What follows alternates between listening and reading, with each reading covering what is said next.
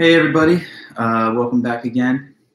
So, soon it'll be 6 p.m. Um, on this day, Thursday, May the um, 14th. So, we've got our review session lined up for tonight. Uh, that's the plan. We're going to go over our study guide and get ready for next week's final. So, to all uh, who are watching now or anytime later, um, greetings, welcome back. Hope you guys have been doing well. And um, yeah, just get yourself situated. Make sure that you have the study guide pulled up um, so that you can refer to the questions as we're going through them and stuff. And uh, we'll just go in whatever order you guys want, cover the material one last time, and then you'll be good to go for your um, for your upcoming test next week. And that's really it for the class. So appreciate you guys' hard work all semester. okay, I'm just keeping my phone set to important emails coming in from all you guys. Make sure I'm capable of replying in real time. But there's still a few minutes till it's six, so anyways, no rush. But thanks as always for your guys' time.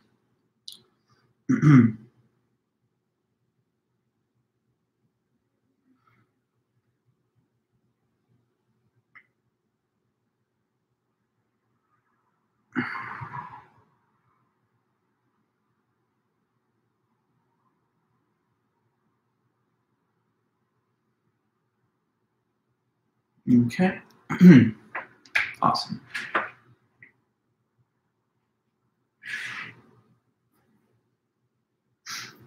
Anybody that's here, feel free to say hello. It's always good to see uh, who's there and also just to hear from you guys. So don't be shy.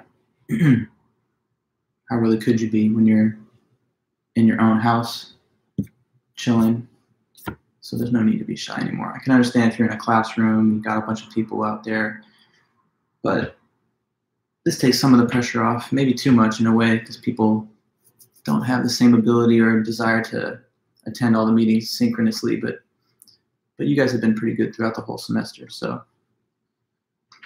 not really referring to you.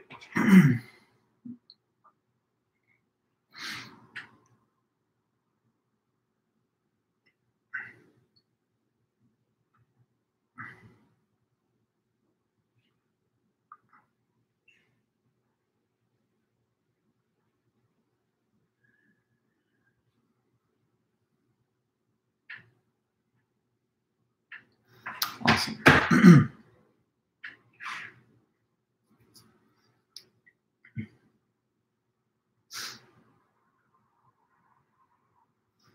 Long semester for everybody. But hopefully you guys don't just, you know, drop the baton right there next to the finish line. You got to still get to the end. You know, it's like a race. can't stop halfway, even if you ran the fastest possible time for like three quarters of the race. You still got to cross that finish line. So hopefully you save some energy for that last that last leg. Hi, Michael. Good to see you. Um, good evening.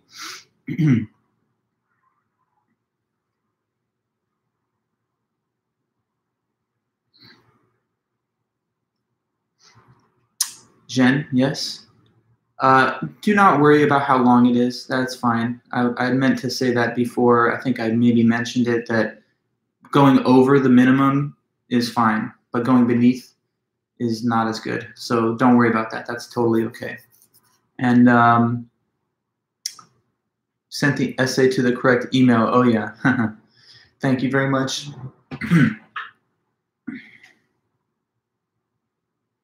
Let's see here.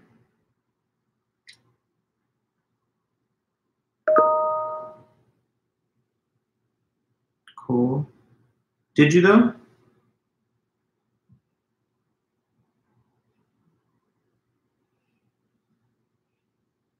Because to be honest with you, Michael, I don't have your essay.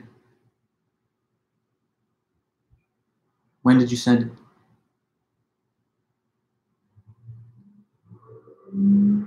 Uh, yeah, like, but not not a big deal. But fundamentally, though, where is your essay?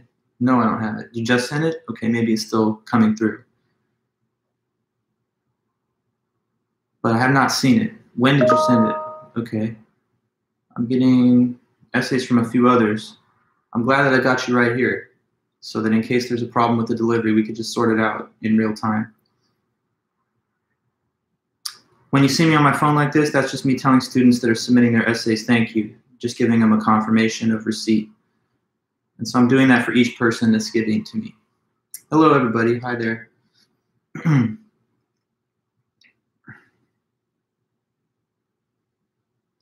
okay.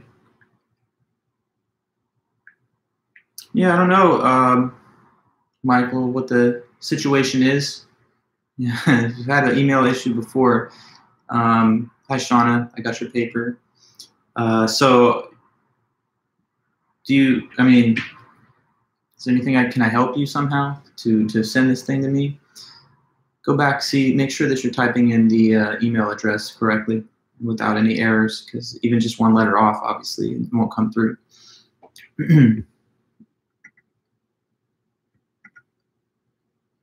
Okay. Well, um, to everybody here, I see that it's six o'clock, so welcome everyone. Um, great to have you back. Um, thanks for your time and for all of your hard work throughout the semester. And it's been a semester unlike anything else. Um, let me look at what you're saying here, Michael. It says sent. I clicked on the link that you included with your email address on your recent email to us. Um, I don't know, Michael. Um, other people are sending it to me, uh, and I'm getting those, but I don't have anything from Michael Hernandez. Uh, audible at occ.cccd.edu. Yes, that is correct. Um, let's see. Finally, it's coming. Okay, thanks so much. Got it. Not to worry, Michael.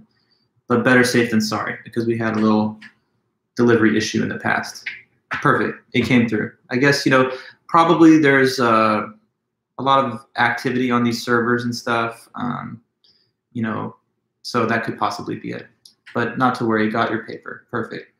Okay, so everybody here, like I was trying to say, um, thanks for being here. It's the last uh, face-to-face, well, not really face-to-face, but last time you're to see my face uh, because next week you just have the final exam. And you're going to take that final exam the same way that uh, you took the midterm, which is I'll send you the test form right uh, before class time. And then you guys will have the whole three hour period, however much at that time you want, to complete some answers from the study guide and then return it back to me by email.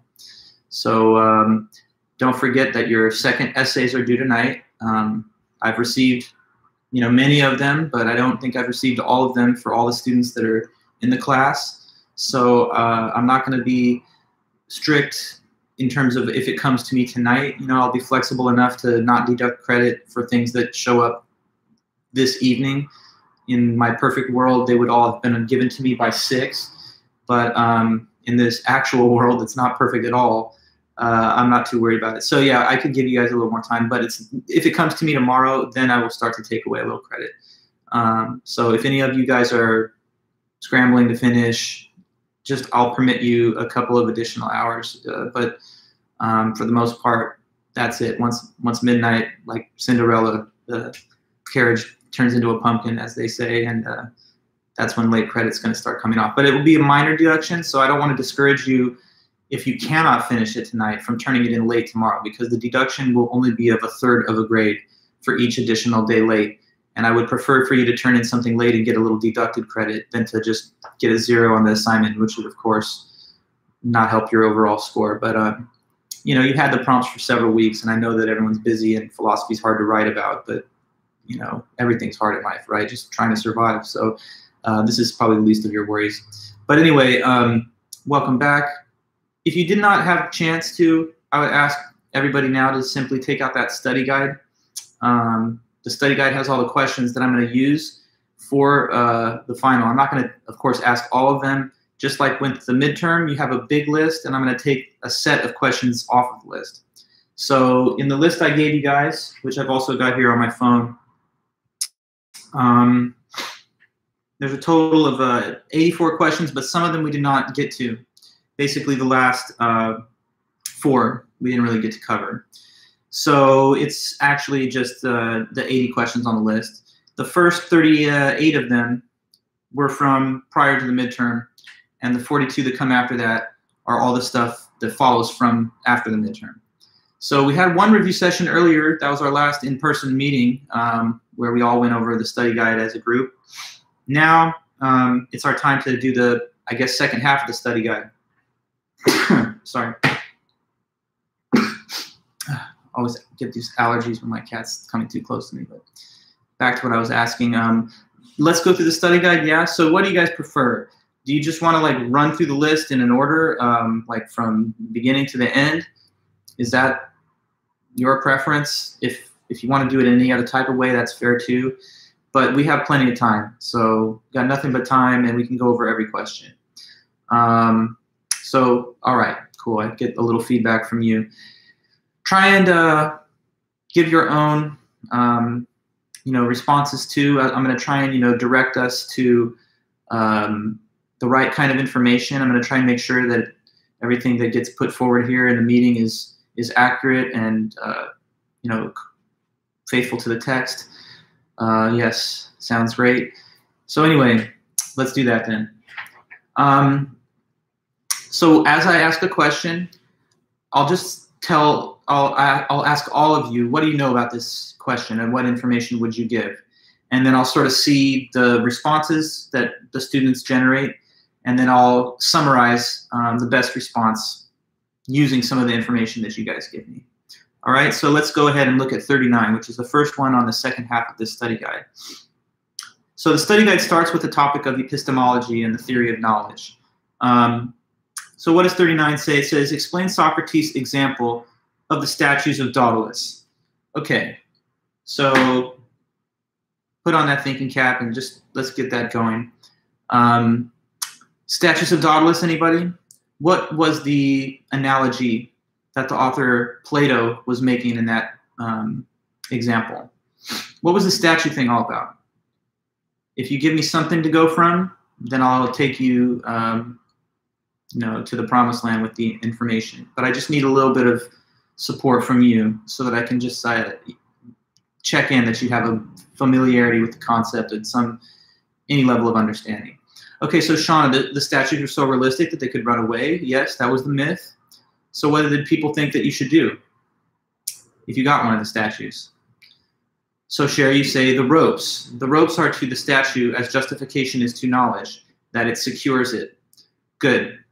That's right. So Plato's having a little discussion here, or well, his teacher Socrates is discussing this with Meno. What's knowledge, and why is correct opinion better than just knowledge, or why is knowledge better than just a correct opinion? Um, so what Socrates said was, think about these mythical statues. Daedalus was a famous sculptor. He made very realistic-looking sculptures of people, and they said that if you got one of those sculptures, you should attach it to the ground with ropes, because if you didn't, the lifelike realism of the statues, they thought that they would just come to life or something when you weren't looking and run off. So you should get the ropes because the ropes make sure that the beautiful statue stays with you. Now, a correct opinion with no evidence behind it is sort of like one of these statues without ropes. You've got it for now, and that's great, but because it's not based on anything, it might just leave, in this case, your mind. So when you believe things, even if they're true, but you have no evidence behind that belief, it's something that you don't retain. It's something that you either forget or that you end up changing your mind about because you never really had any facts to base it on in the first place. So having justification added to your correct opinion is better because it makes sure that it stays with you and it stays in your mind. Having the ropes for these statues is better than not because it makes them stay on your property. So ropes are like justification. The statue is like a true belief without justification add the ropes, add the justification, and it's better. Uh, in the case of knowledge, the justification turns it from just being a co correct opinion and converts it into knowledge, which is more stable and lasts longer. Okay, so I'm just giving you all everything I could think about about that information on that question. So we're going to the next one. All right, number uh, 40. Explain the classical account of knowledge. So you probably remember that this classical account of knowledge has three main um, components. So just help me with that. The classical definition of knowledge, they said that knowledge was, uh, was what? There's these three words. That are used to define knowledge. And if you could just tell me what those three words are, then we can go from there.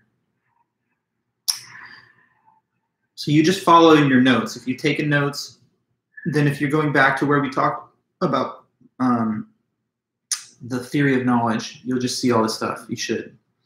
Um, so anyway, knowledge, definition, what could that be? Many of you might have written a paper about it. Okay, good, Sherry. Justified true belief. Um, so you would have to maybe say, you know, what each of those words means. You have to get a little deeper, you know. So, um, what is it for a statement to be true? It's for the statement to match the facts of reality. Like if I told you I was wearing glasses, true, because I am. But if I told you I'm wearing a hat, false, because I'm not. So I made two statements. One of them matches the situation that's really happening, and the other one does not. So one is true information and one is false. True statements are the ones that mirror and reflect reality correctly. So anyway, that's truth. What's a belief? Belief is when a person thinks that a proposition or a statement is true. And people can have different beliefs about the same statement. Like maybe one person says, um, the earth is flat, and another person says, no, it's not. So they don't agree on the statement. One thinks it's true, the other doesn't. Um, obviously, in life, if you could, you'd want to only believe true things because believing false things means you're getting it wrong. Uh, you have a false idea of what's really true. You're getting, um, you know, you're, you're imagining or thinking the world is a certain way, but it's actually not. Uh, and then justification. What is this?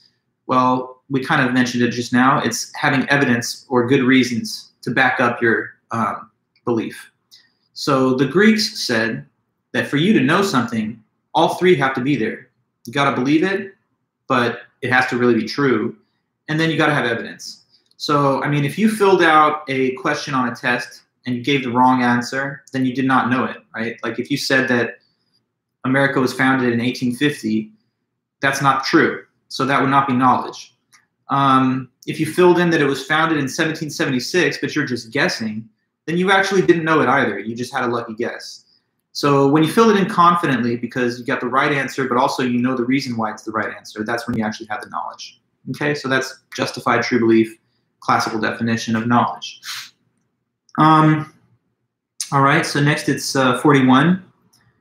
That's asking you, how did Mr. Uh, Edmund Gettier try to show that um, justified true belief is not knowledge? All right, so for that question, you'd have to report on at least one of the Gettier cases, you know, because he gives these very detailed hypothetical scenarios, uh, which are meant to show that a justified true belief can exist and still not be knowledge. So help me understand at least one of the cases. Maybe we'll just speak about the first one, I guess, at least, because that's the most um, widespread understood one. Smith and Jones are who? What are they doing? Tell me about Smith and Jones. Gettier case one. That's the kind of info you would want to report for this question if it was selected. Smith and Jones job uh, hunt. Yeah. So give me some facts about it if you can, Sherry, or anybody else. I would love it uh, if you could just give me some information about Smith and Jones job hunt. How did it go? You know, who got the job? Uh, what was Smith thinking throughout the whole process? Give me a few things to say about the Smith and Jones job hunt you told me one thing. They're applying for a job. Great. Okay. Then what? they applied for a job. Okay, Michael. Uh, so Jones owning a Ford is the other Gettier case. Uh, we can talk about that in a moment. Um, yes, Michael, we can talk about that, but that's we're getting the two cases now confused. I wanted to talk about the job hunt first. The other one about Barcelona and Brown, his other friend, that's that he doesn't know where he is. That's a separate case. So let's uh, let's focus first of all on the job hunt, if you, if you can. All right, no problem. Skipped over a whole bunch of stuff. Let's go back, back, back, back. Smith and Jones are applying for a job. What happened after they did their interviews? So. Uh, I'm still not hearing what I need to hear about what happened after the interviews. Let's not go too fast because you're telling me that he says Jones will get the job and Jones has 10 coins in his pocket. Yes. But why does he believe that? You can't go and just jump right over that. That's that's the major thing. Why does he believe that? The boss told him that Jones will get the job. Good, Shauna. The boss goes over to Smith and he says, Excuse me, Smith, I'm going to give this job to Jones instead of you. Okay. So he takes that and he takes that to be true. The other thing is, what about the coins? How does coin stuff get in the in the mix? So Sherry, we got the thing about Smith was told Jones is getting. Okay, good. But there's more. Also, what else? There's something having to do with coins, but we got to say specifically what that is.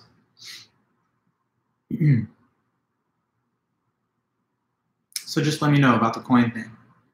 You remember it, right? I mean, because you told me that the boss came in and says Jones is getting the job, so I think you would know then what happens after that. So, um, Shauna, you say that the boss mentioned that Jones has 10 coins in his pocket? No. Uh, that's not correct. The boss doesn't have any thoughts at all having to do with coins in anybody's pocket. The boss is just conducting job interviews. Smith, though, kind of went off the rails and asked Jones, Can I count the coins in your pocket? So Smith himself counted the coins in the other applicant's pocket, and he counted that there were 10. So, Sherry, that's the correct one. Okay, so let me just take us to where we were at right now. Smith and Jones applied for a job. After the interviews, the boss told Smith, I will hire Jones. Okay, also, um, he counts the coins in Jones' pocket and he notices that there's 10 of them. So he deduces from this what belief? The belief that the man who gets the job has 10 coins in his pocket. So you have to be clear about why he believes that. He believes it because of the two pieces of info I gave you that the boss tells him and he counts those coins. So he did he does therefore form the belief that the man who gets the job has 10 coins in his pocket. Then there's this little plot twist ending. So what happens after that in the end? Surprise ending. Who would have thought? But actually what happens in the end is what? You got to tell me how the story ends. We're almost there. Just need a little bit more info at the end.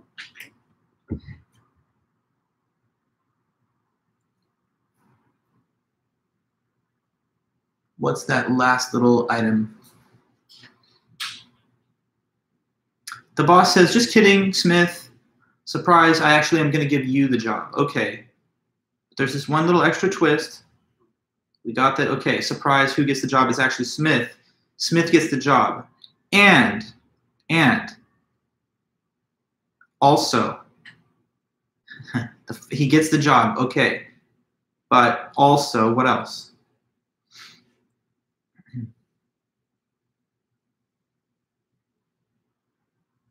And he has 10 coins in his own pocket, yes, which he did not know about, which he had not counted, and so he was not aware.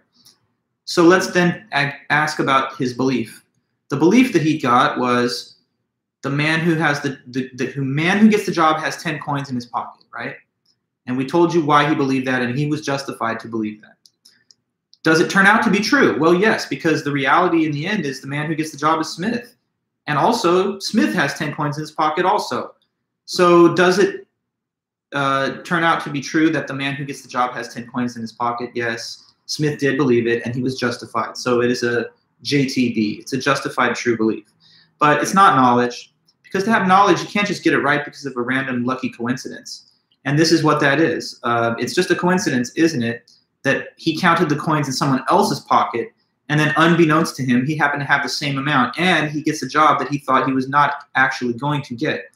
So, though he had a true belief based on evidence, it's not the right kind of evidence to give him knowledge. Um, and there are other Gettier cases too. So, the other one uh, that you were trying to talk about, Michael, has to do with um, Smith in another case believes that Jones, his coworker, owns a Ford car because he comes to work in a Ford and he tells everybody that's my car. So he believes Jones owns a Ford, that's justified. Now, the way that or statements work, which are called disjunctions, if even one of the two or statements is true, then the whole thing is true. So, like if I tell you that either I'm wearing glasses or um, or the moon's made of cheese, that's true because I am wearing glasses. So the false part, the second part, doesn't really affect the truth of the statement because it doesn't claim both. It just says one or the other.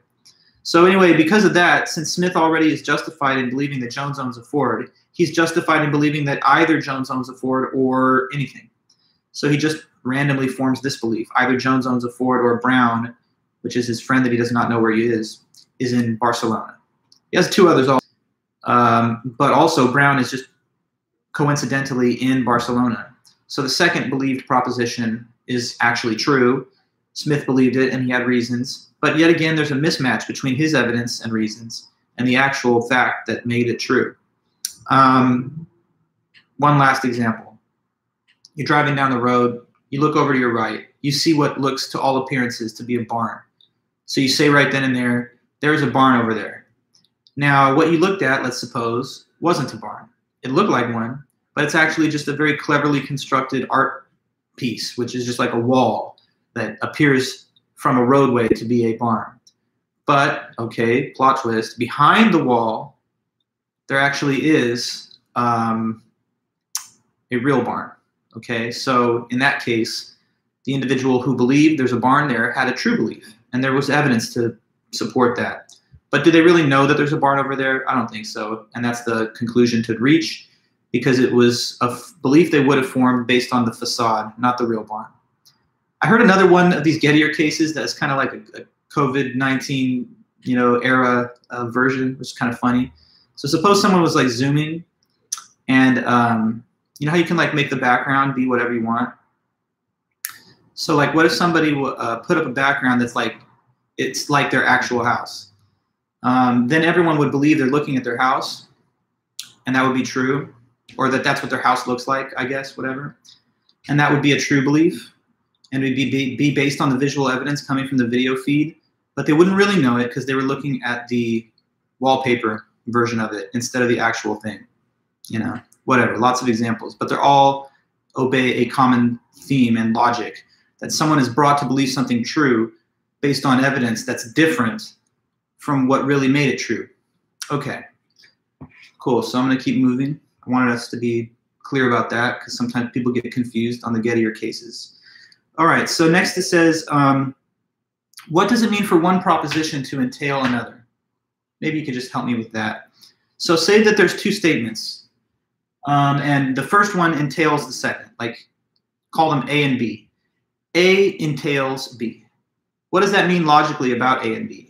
If A is a statement and B is a statement, and A entails B, then what do you think that means? A entails B what's the logical relation between a proposition and a further one which is entailed by the first? Maybe you could even give an example if you want of two propositions where the first one logically entails the second. So let's see what you got in your mind. Entailment. Just tell me about that.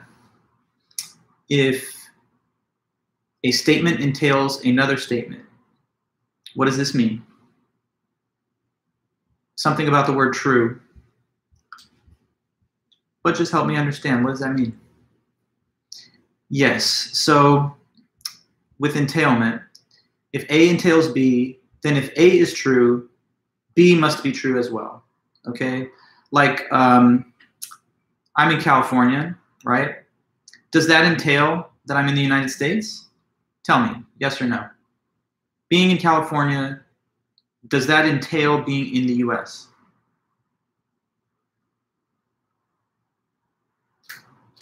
What do you say? That's a yes or no question. So you could just think about it for like a minute and well, not a full minute, hopefully a few seconds, and tell me what you think. I'm in California, statement one. I'm in the United States, statement two. So the first one, does that entail the second? Yes, because to be in California, you have to be in the United States because it's a part of the United States. But does it work the other way around? If I'm in the United States, does that entail that I'm in California? No, because there are many other parts of the United States besides California. So everything of California is of the United States, but not everything of the United States is of California. So entailment just means that if the first one's true, the second one has to be. And if it's true that I'm in California, yes, it has to be true that I'm in the United States. But if I'm in the United States, it does not necessarily have to be true that I'm in California. So entailment. Um, that's the concept. It was used in, it's used all the time just in logical deduction. um, but it was mentioned by Gettier in the essay he wrote to try and give an idea about how you logically deduce one proposition from another. In the case Gettier gave, Smith believes first that Jones gets the job and Jones has 10 coins in his pocket, and he deduces from that the entailed statement that the man who gets the job has 10 coins. Because if Jones gets it and Jones has 10, and that's true, then it has to logically be true that the man who gets the job has 10 coins. Okay. So um, that kind of relates a little bit to the closure principle, which is the question that comes next. So that's the last one from Gettier's uh, material. The closure principle. This is a little bit of a technical sounding principle. Um, I guess I could write it on the board, but maybe I'll just type it here. I'm going to type it and then I'll talk to you about it a little bit. So closure principle. But if anybody has any thoughts or ideas about it, please put them out there. Um, that's always helpful. Um,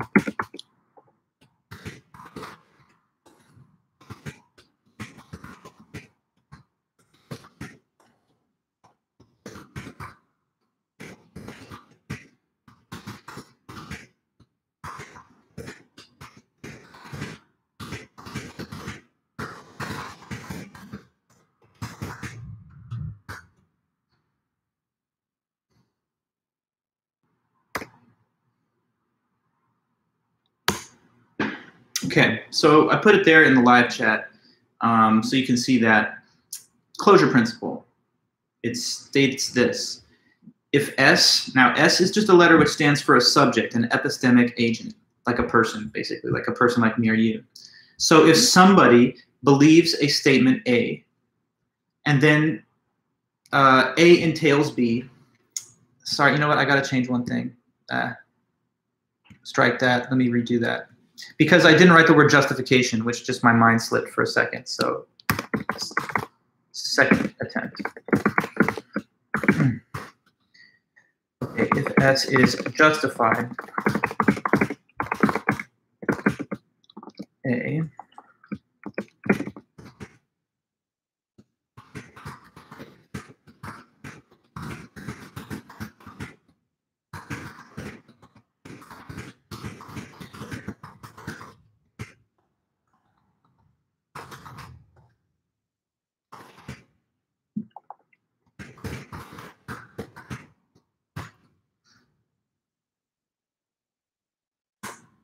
sorry for that. Um, what it says now correctly.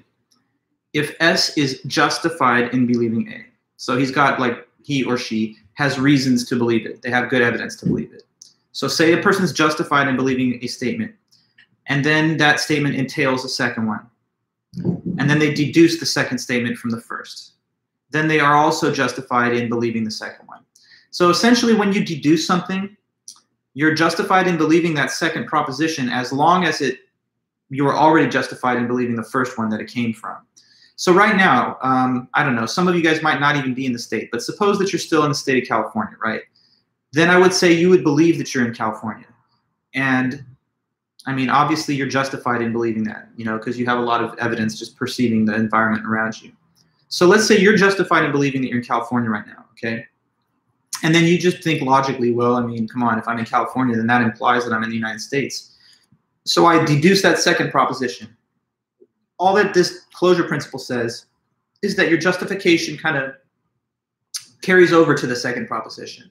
So since you're already well justified to believe the first thing, since the second thing follows from it, you're also justified in believing that too. Okay, so justification transfers over from one statement to another when you deduce when you deduce something from one statement to another. That's when you notice that it entails that second statement. Okay guys good. So um, i'm moving on to now we're talking about descartes and his topic. So it says explain descartes method of doubt. What is known for certain even when the method's being used and why? All right good. So that's a simple i think clear question. What is the method of doubt tell me that, and uh, tell me if you can. Uh, what is something that remains certain? Right? Isn't that what it says? Yeah. What is something that's still certain, even with the method of doubt being used? So basically, what I'm asking, what's the method of doubt, and what is the thing that it cannot cause you to doubt? So method of doubt. Let's just say that first. What is the method of doubt? It's something Descartes talked about in the Meditations, um, which is a book he wrote in 1650. No, sorry, 1641. Um, so yes, what's the method of doubt? That's what we'll start with on this question. there's no rush, obviously. I mean, there's plenty of time. Um, so nothing but time.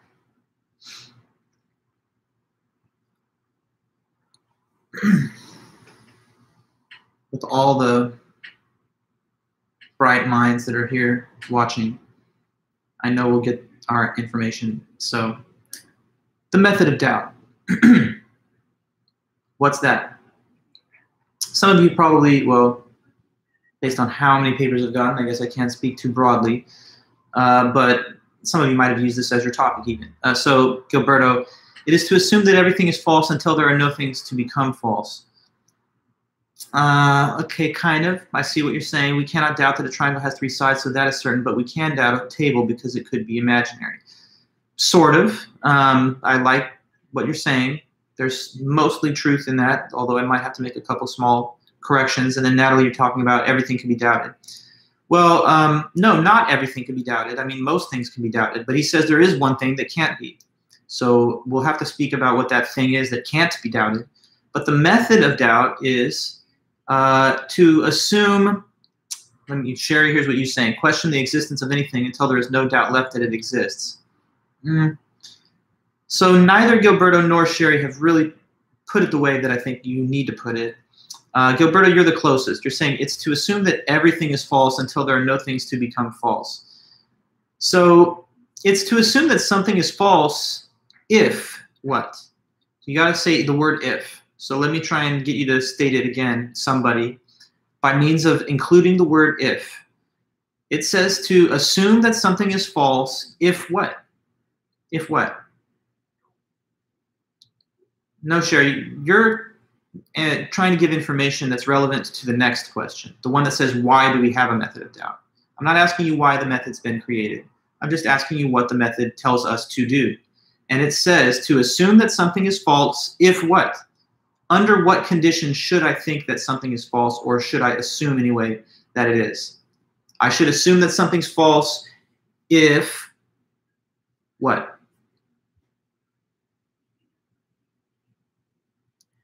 when, under what conditions should I assume that a thing is false, according to the method of doubt? Assume to be false anything that can possibly be doubted. Okay, well, you didn't want to use the word if, but that's fair. That's another way to put it. You could also say it as such. Assume that something is false if it can possibly be doubted. So if something could be doubted, then assume that it is false. Okay, now, once some uh, method of doubt has been set out there, what are the things that we can doubt? Okay, well, I guess that's coming up in a subsequent question. But this question asks, what's the thing that cannot be doubted? Even with the method of doubt, there's one thing, and actually only one thing, that remains totally dead certain. So, what is the one thing that is still certain even when you're using the method of doubt? Assume to be false anything that can possibly be doubted. Okay, so what survives that methodology? You got to tell me that. that we exist as a mind is certain, right? But why? Why is that certain? That's true. That's correct. But why? Give the reason. It's certain. But why?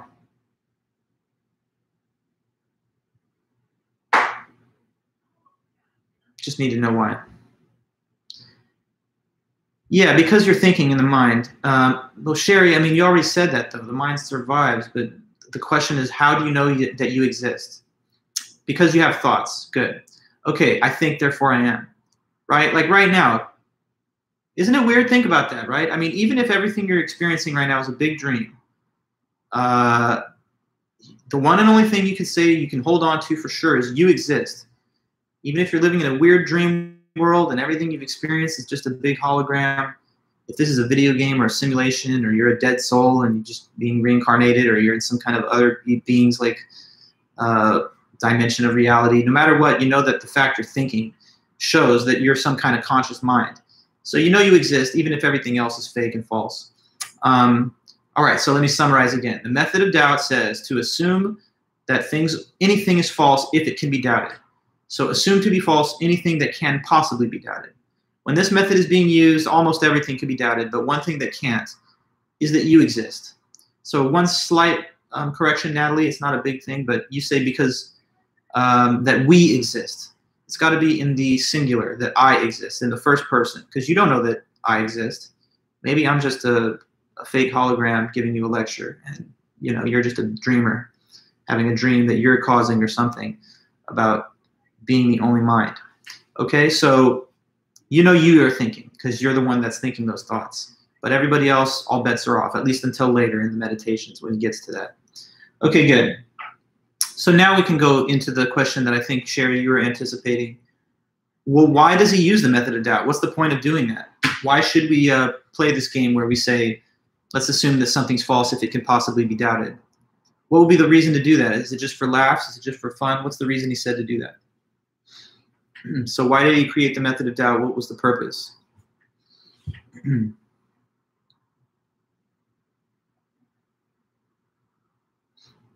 Let me know.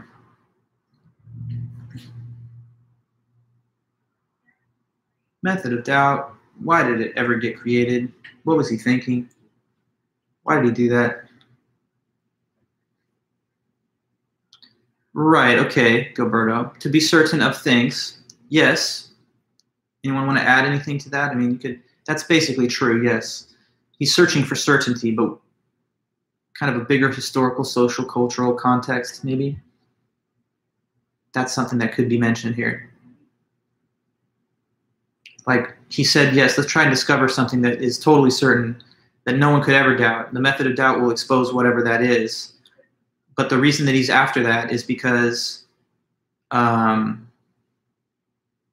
well, your sense perception, Sherry, I this is funny. You you wanted to talk about this question. Now you don't want to talk about it. You're going to a different one again.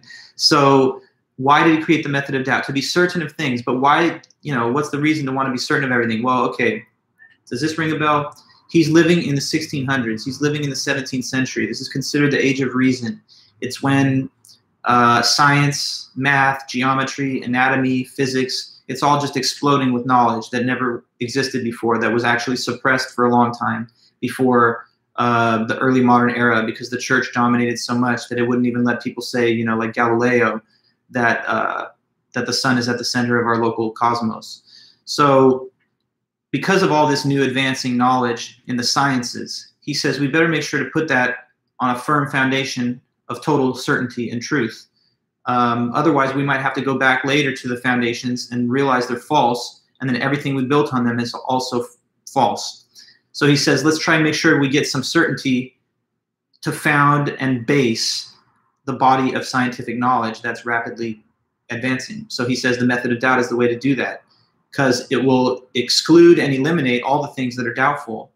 And the only remaining stuff in there will be the stuff that can't be doubted, which, as we just said, starts with the knowledge that you exist because you're thinking.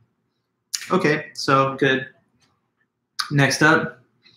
Um, now I think, Sherry, yet again, the now uh, next jump ahead is the question here. So perhaps we'll get your response to this. Number 46, explain why beliefs that are derived from sense perception are not certain, and why even maybe beliefs about math are not certain, according to Descartes. Yeah, so what is the reason that he says you can't trust your senses and who knows if any of it's real? I think this was kind of briefly mentioned in passing a bit ago, but let's just bring it back up. Um, why did Descartes say that all the five senses sight, taste, touch, hearing, smell you just throw them all out the window because you're not really sure if they're correct. What is the reason to doubt those? Those senses, the sense perception, the sense data. What gives a reason to think that that could be false? How could that be false? How could the things that you think that you're seeing not even be real? Because that's something that's capable of being doubted. So why? How could that be doubted?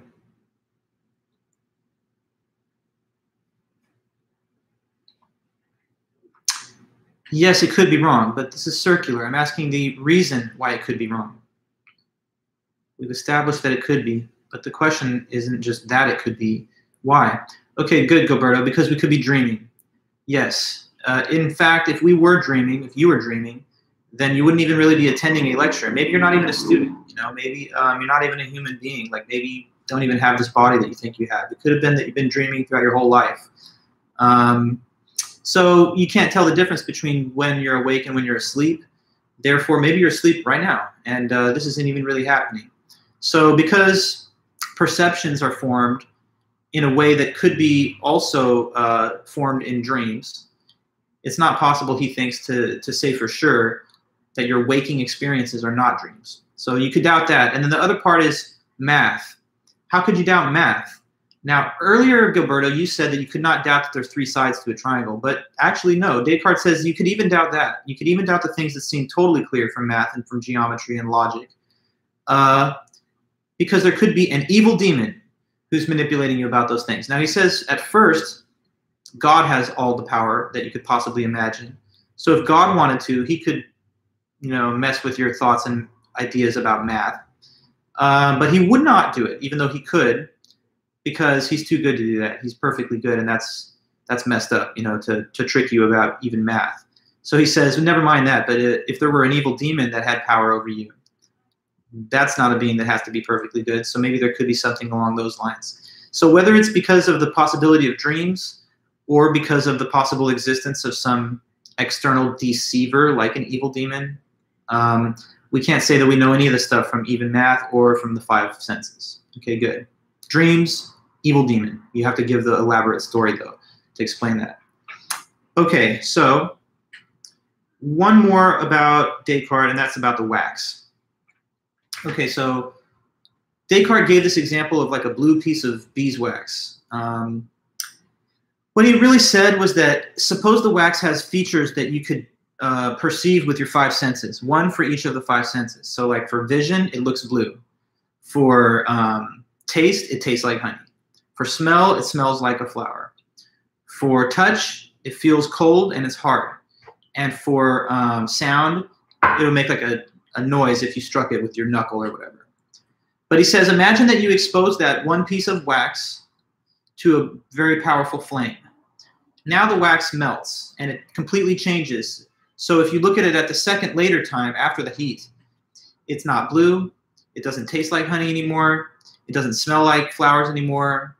It's not car cold. It's not hard, and it won't make that same noise of like a knocking knuckle. If anything, you splash right through it because it's now liquefied. So the wax has changed a lot, and it's lost all of the initial perceptual qualities that it had. So what he's trying to say is that those perceived qualities that you get through the five senses, they're not really essential to the wax because those qualities could come and go but the wax will still exist. So when you want to think about the essential features of the wax, you have to think about the things that have not changed from the time where it was a normal piece of wax till after it was melted. And the things that have not changed is that it's something which is still extended, meaning that it takes up space. It's still something that is flexible, meaning that it can be shaped into different forms. And it's still something that is changeable, meaning that it can just um, acquire different properties or attributes. So he says flexible, changeable, extended. Those are the really deeper essential properties of a piece of wax or of any physical object. So it's again his attempt to kind of point out that what you see or perceive with your five senses is like less essential than the things that you can understand with your mind and with your intellect. Um, because when you think about extension and changeability and flexibility, you're not thinking in terms of the five senses, but rather the conceptual understanding of what the object is like across all of its possible changes. Okay, so the five senses only give you non essential attributes of wax or of other objects, but thinking about them in the deeper way through the intellect reveals to you what their essential attributes are. And that's extension, flexibility, and changeability. Okay. So then, we go on to Einstein, and now we're going to talk a little bit about the time material. So Einstein's example of the moving train. Tell me at least some basic stuff about that whole example. the example that he gave says, um, suppose that there were two, what are the events that he's talking about concerning this um, railway embankment? He asks us to think about what scene or situation. So going to Einstein now.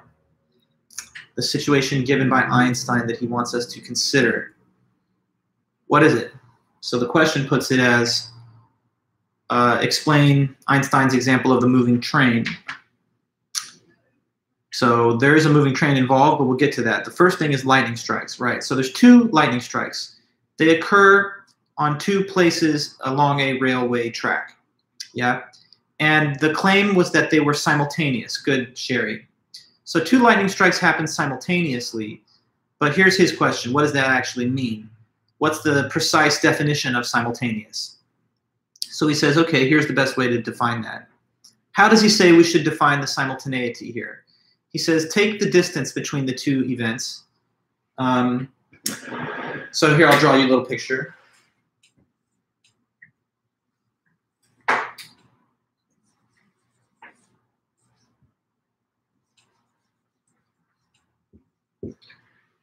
So we see here that these, these two lightning strikes that are occurring on this railway. We say they're simultaneous, but how do we really know? Well, he says do this. Get the midpoint, M, place an observer there at that midpoint. This is the point that's in between A and B, exactly halfway. So the distance from A to this M is the same as the distance of B to M. Now suppose that the observer can see both of the positions at, at once in one field of vision, and then also, suppose that the speed of light is fixed, meaning that it's always the same velocity. So if that's all the case, then if he sees A and B at the same time from this position, standing still, we would call the two events simultaneous relative to him. Why? Because the two light beams from A and from B, they've traveled the same distance to get to point M. And they arrive at that destination at the same time and they're traveling at the same velocity over the same distance, arriving at the same uh, final destination at the same time, which means they left from A and B at the same time too. So that's how it seems to be simultaneous according to his position. But if we have a second observer, okay, so the second observer has to be mentioned. The second observer, let's say, is on this train, which is going in this direction with velocity v, away from A and over towards B. Now he's going to surpass the midpoint as he travels along the railway. When he surpasses M prime and he breaks that plane, let's say that at that exact moment this guy's doing his observation and he sees the two lightning strikes happening simultaneously. But because he is actually being carried to the right with velocity v, he's going to see the event B happening before A because the distance between him and the beam of light from B is shorter than the distance between him and the beam of light from A, because he's going to be running past the midpoint and closing the gap between himself and B and opening a bigger one between himself and A. So thus, the same two events, two lightning strikes, they seem to be simultaneous to this person, and they seem to be out of sync in this guy's experience. B happening first because he's traveling closer to it, and so the light beam from A has further to catch up to reach his eyes. What that means then is that the concept of two events happening simultaneously cannot be stated objectively as an objective fact. It's just relative to the observer, which gets really weird and deep and trippy because if there's no objective fact about the order of events in time, then time's not linear. And um, one person's past is another person's future, is another person's present, just depending on their relative position in space and their state of motion regarding the observed events. Okay, so this is the Einstein example basically two lightning strikes from this guy's position are simultaneous, but the one on the train, they're not. Because as he passes the midpoint, he's closer to B than A. But this person is standing still at an equal distance from A and B when the two light beams reach him. Okay? So good, then that's the Einstein first question. Next up, um, why is the concept of time moving a paradox? So this takes us into the Ted Sider um, article, Theodore Sider, Time help me out with that a little bit. To say that the concept of time moving is a paradox, how does that work? How is it a paradox? Um, I'll just wait and see what you have. So people always say that time is moving, right? That's like a common way of talking. Um, time is flying, time is rushing past me, feel like time stood still, or wait, did it slow down? Um, time waits for no man, time marches on. So there's all kinds of phrases which indicate that we think of time as moving. But why is that something that's actually kind of like a paradox to explain, something that's incoherent to give an account of? Why is it that saying time moves, it kind of runs into circles? Okay, Michael, when movement is talked about, we already refer to time, exactly. So if we say the time moves, that is like saying it is in different places at different times, and that does not make a lot of sense. That leads us to an infinite regress. Okay, perfect, exactly, yeah. So to say that anything moves through space is to say that it's at different places at different times.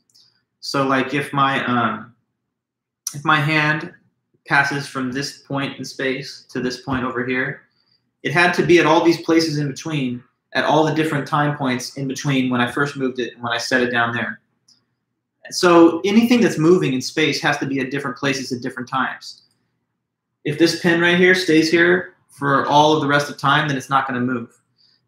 In order for it to move, it's going to have to be in a different place at another time. Okay?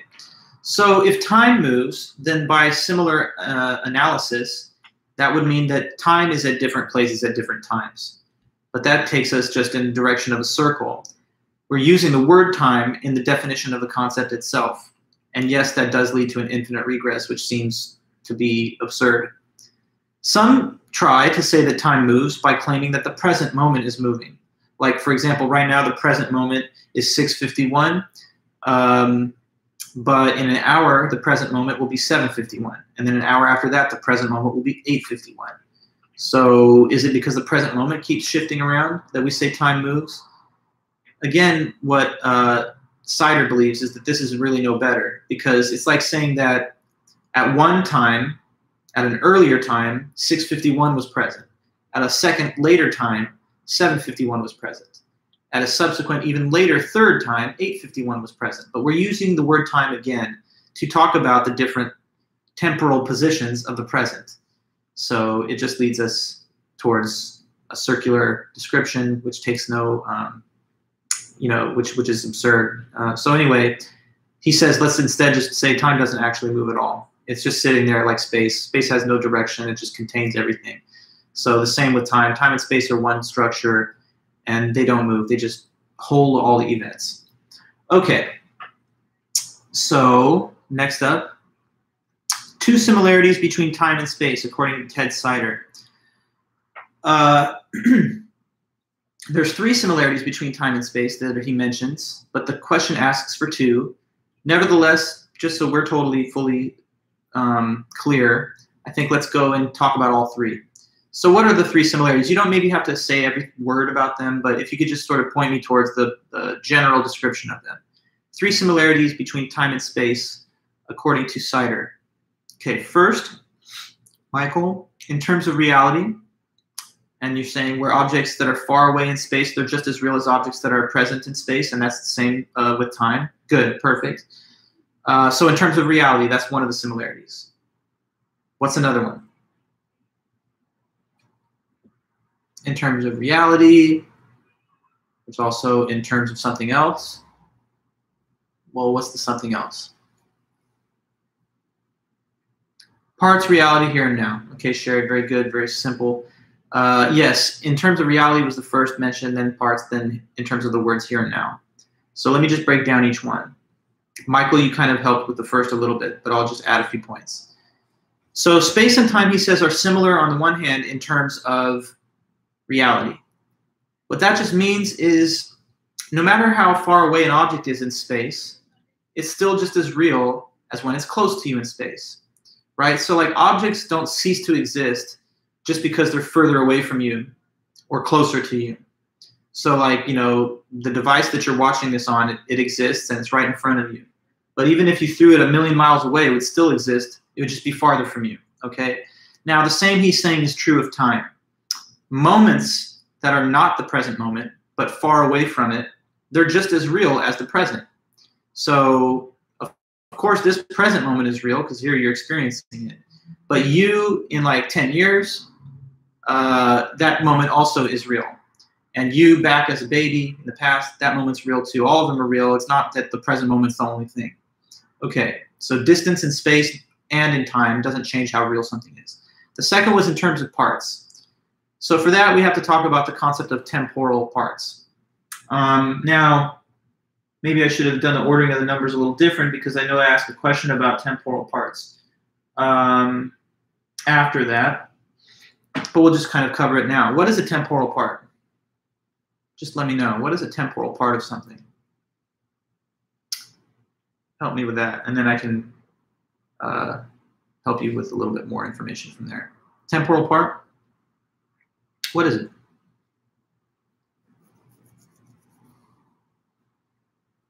a lot of words, right, in philosophy, but the thing is not just to have the words, but the definitions in your mind, right? So what's a temporal part?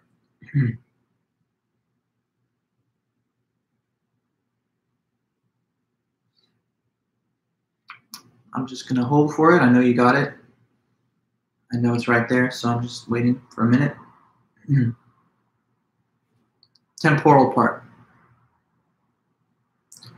Okay, so Sherry, you're saying you in the smallest measure of time, a slice of you in time. That's a fair way to put it. Michael, you say a temporal part is just an object at a single moment of time. Yes. For example, when a photograph is taken of myself, only one temporal part of myself is in it. Perfect. Yeah. You know, I uh, this is little tangent maybe, but I just saw something um, published in the news that they just created this like world's most advanced camera that the shutter speed is like almost down to like the Planck length of time. It's like 700 million uh, frames or something per second.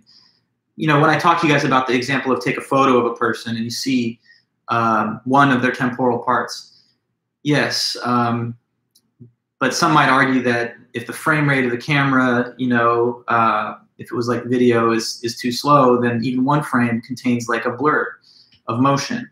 Um, but anyway, back to what we were talking about. Yeah, so a single moment in an individual's existence is a temporal part of them.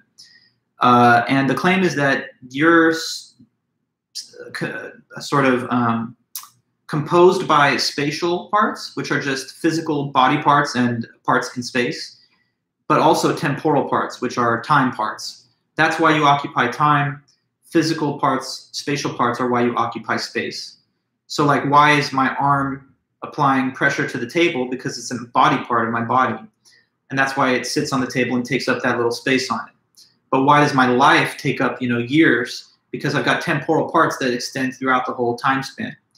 Um, okay, and they're just equally as real. The temporal parts of you all throughout your whole timeline, they're all just as real as the body parts that you that you have attached to you right now. Okay, and the third one was in terms of the words here and now. Can you say anything about how they're similar, those two words? What's the similarity between those two words, here and now? Now, here is like a spatial word because it refers to space and a position in space. Now is a temporal word because it refers to time and a position in time. So what's the similarity between these two position words, here and now? Okay, good, Michael. Both are relative terms, and their meaning is contingent on the context of the speaker. Yeah, so the word here, where is it? Where is the word here referring to? it depends on who the speaker is. Sorry, well, really where the speaker is when they say it. If I say to you that um, my cat is here, like that's true because she is like right over here. But if you say Professor Vulich's cat is here where you're at, that's a false statement because my cat's not over there. She's here.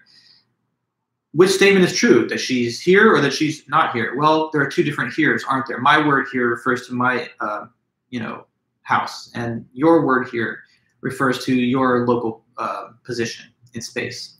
So there's no objective place called here. It's just wherever a speaker is speaking. Just like the word now, when is now?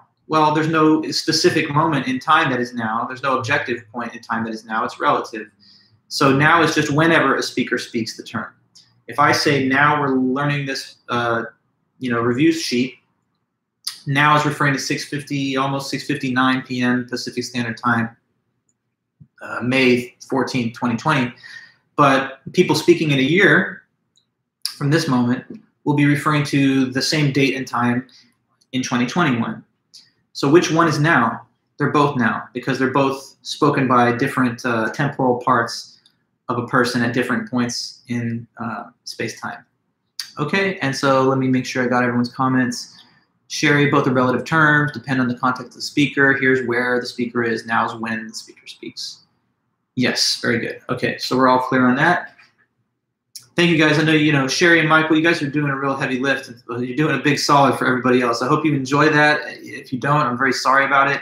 But to the other students, you know, um, concerns of equity would be great. You know, if someone wanted to just chip chip in, even if you feel like uh, you're not as capable as you want to be, anything's great because um, you know it helps you. It helps support the class, and uh, in the end, it's just fun. I don't know. It's just fun, right? Just talking, isn't it? It's, called the love of wisdom. It's not called the like painful, very depressing, hard, uh, miserable uh, pursuit of wisdom. It's it's love, so it's passion. All right. So thanks again, everyone, and we'll keep keep going from there. Um, what's next? So the next one is explain why, according to the space-time theory, nothing actually changes. Yeah. Why would one say that if the space-time theory is correct, then there's no real such thing as change? And I, I do appreciate Michael um, and all the others. I mean, I understand that there's there's reasons to be shy with all the heady material that we're talking about, but you know, you still got to try and challenge yourself, don't you? You still have to try and reach for that higher level of understanding when things are tough. So I'm just trying to tease it out of you a little bit, as I must as a professor. So anyway, back to what I'm asking. Yeah. Um, nothing changes in the space-time theory. What is that? Why? Why? Why would one say that according to the theory, nothing changes? Let's see what you can say. nothing changes according to the thought of space-time theory. Why not?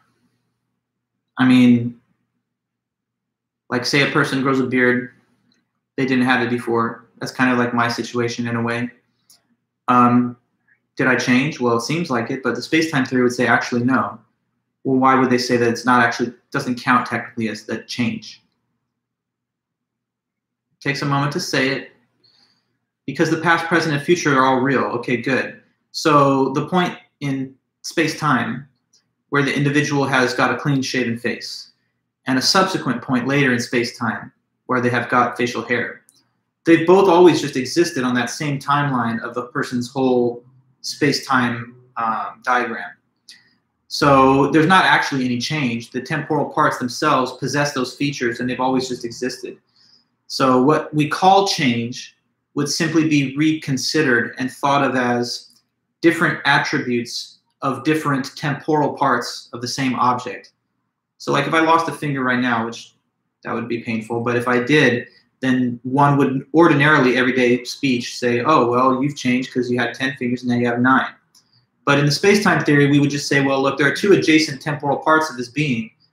The, the previous one had the 10 fingers. The subsequent one had the nine. But they've both been adjacent temporal parts the entire, you know, manifold of space-time throughout. So not so much change as just different features along different points in the space-time diagram. Okay, like an analogy for that, which just so that we can get one analogy to that. If you're driving down the road and say the roadway, it starts off as a very smooth, very nicely paved road, but then you get into bumpy terrain where there's a lot of pop, potholes and um, cracks in the in the pavement, right? So as you start hitting all those bumps, you might say, "Man, the road has really changed," you know. But actually, uh, let's say that this road has always had that one bumpy section and the one smooth section from the very first day one of the existence of the road. So has the road changed? No, it's just that one part of it doesn't have the bumps and a later part does. And so like you're kind of like the road itself by analogy in a space-time diagram. The earlier points in the road are like the earlier stages in your time sequence. And the later stages, they have different features. So like there's temporal parts of you that are like old uh, I would hope, if you make it and have a nice full long life, like I'm hoping. And then you have temporal parts of you back here that are like little baby temporal parts. And then sandwiched in between, there's the stuff that's happening to you right now. But all of them have all been there the whole time, and they always will be. So no real change. Okay, so then we keep going. Um, soon he will be in the past. David Lewis talked about this uh, weird sounding sentence. It sounds like it's an oxymoronic statement, like a contradiction. Because if soon I will be in the past, what are we saying? Like soon in the future, I'm going to be behind in time? That sort of sounds like time going in opposite directions. But David Lewis says, no, I can explain that and make sense of it. So he says to really sort of make sense of a statement like soon he will be in the past, we have to come up with uh, two different time frames, two different ways of measuring time. All right. So like, what what are those two different ways of measuring or um, experiencing time?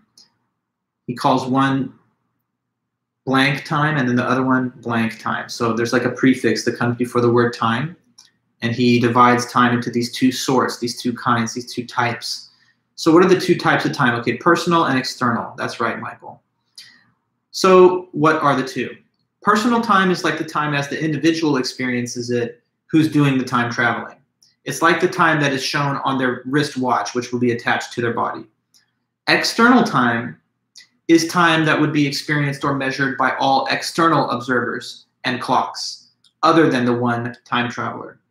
So if somebody, let's say, got in a time machine to go back in time or whatever, and they said, This is crazy, in 15 minutes, I'm going to be watching the LA riots live in 1991.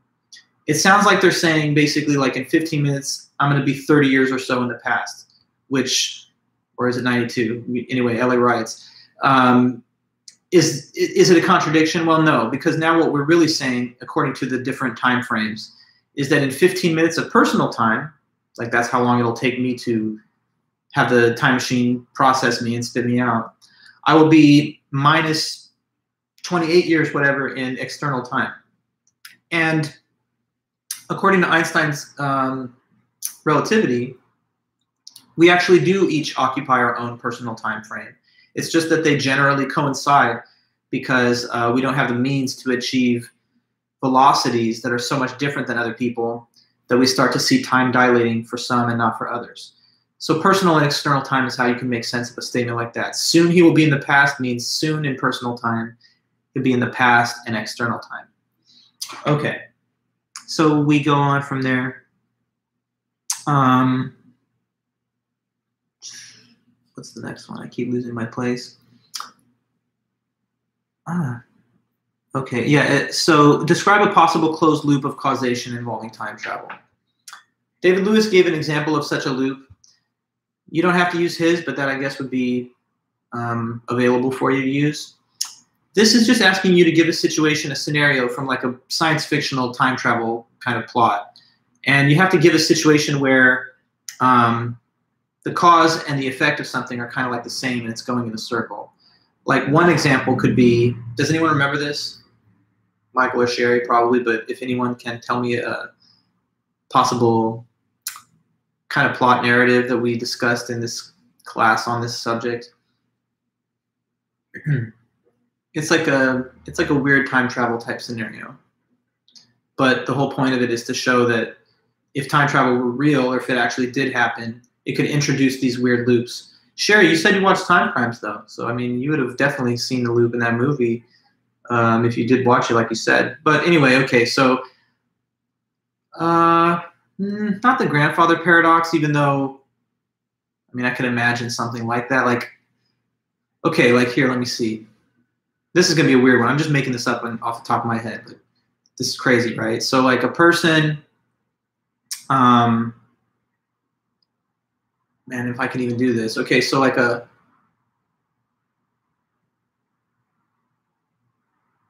no, I can't. I was trying to think of like someone gives birth to themselves because they they go back in time, they conceive the child that ends up becoming them, and then when that child gets older, they go back in time to cause the conception yet again. Maybe that could work, right? I don't know if I'm, I'm I might I don't want to like freestyle or ad lib too much while we're doing this because I, I just you know I could go back to the textbook, but I'm thinking that could be one, right? So like they just pop out of the womb, they're born. Okay. They grow up, they grow up, they grow up, and their whole life they're like, Who's my father? And the mother's like, Don't ask that question. Don't worry about it. Uh, your father's gone, right? But he wants to know who the father was.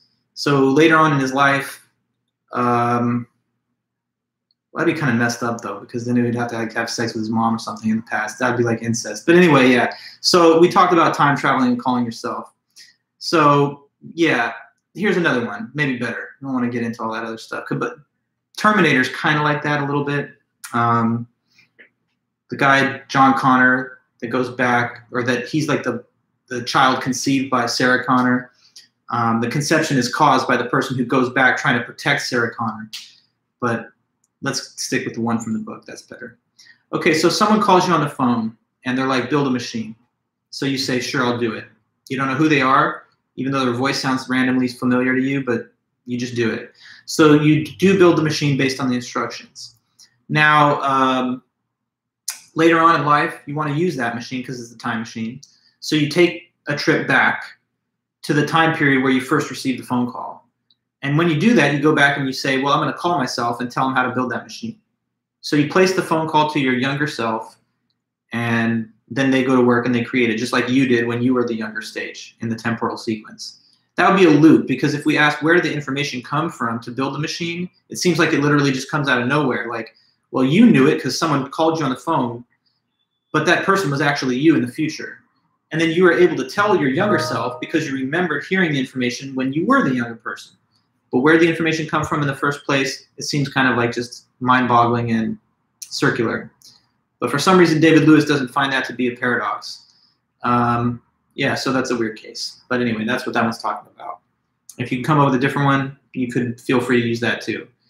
Sherry, the time crime situation, if you want to use that as a narrative, that would be a fair example too. Okay, so then, um, if a person talks to their past self on the phone, how many people are having the conversation? And, and explain why you give me that number. Okay, so we just talked about a kind of case like that. Person's talking to themselves um, on the phone when they were younger. Like, I don't know, to make it, it kind of impossible to be relatable, but suppose that a time machine came out tomorrow and you got in it and you went back to 2016 to tell yourself in 2016, heads up, there's going to be some type of crazy pandemic four years from now. Who, how many people are involved in that conversation there? 2020 you going back to talk to 2016, slightly younger you. How many people is that? And, you know, just give me a little discussion on that. How many people is that? The phone call that's going on. The future self and the past self. It's one person on the phone. So what are the two things then? If it's one person, clearly there's two different in sort of things involved in the conversation. Yes, one because it's just you, and that's good. But I want to just make sure we put our finger on this little added point. It is one person, but yet we could say it's two uh, of something. Two what things?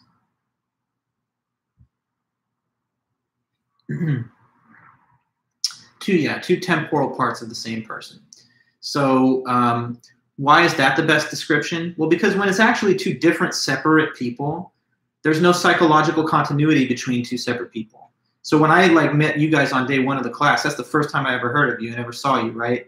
Um, but i have memories of myself uh, when i was a younger person or when i was a teenager when i was you know my 20s and stuff. So if I made a phone call like to my younger version of myself after I traveled to the past, I would have the memory of being the younger individual. And also there's like um, physical continuity between us too. Because like, for example, I don't know, I have like a small scar here on my forehead and, um, you know, I've had that throughout my life because it actually happened when I was very, very young, like toddler age. Um, so the another reason to think that that's actually me, the younger person that I'm talking to on the phone, is that I bear the same scar that the younger individual had, and two different people don't have physical continuity nor psychological continuity. So um, that would be a case of two temporal parts of the same person interacting. Okay, cool. So people having temporal parts, I think we covered that. A temporal part of an object is just an object at a single moment of time, like, for example, what could be shown in a single uh, still image of that person. Okay. Grandfather paradox. This is the last one on time. So David Lewis gave this additional example to try and, you know, explore some of the weird uh, puzzling, paradoxical elements of time travel. So, grandfather paradox. Once again, it's kind of like a mm, almost like a science fiction novel or something. What's the basic plot of that one? You know, fans of cinema and literature, you could simply give me, I think, a basic description of that. Um, what is it? I'm plugging this into my computer.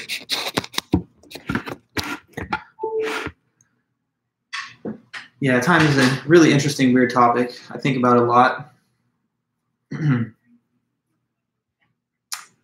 but yes, grandfather paradox. What is that?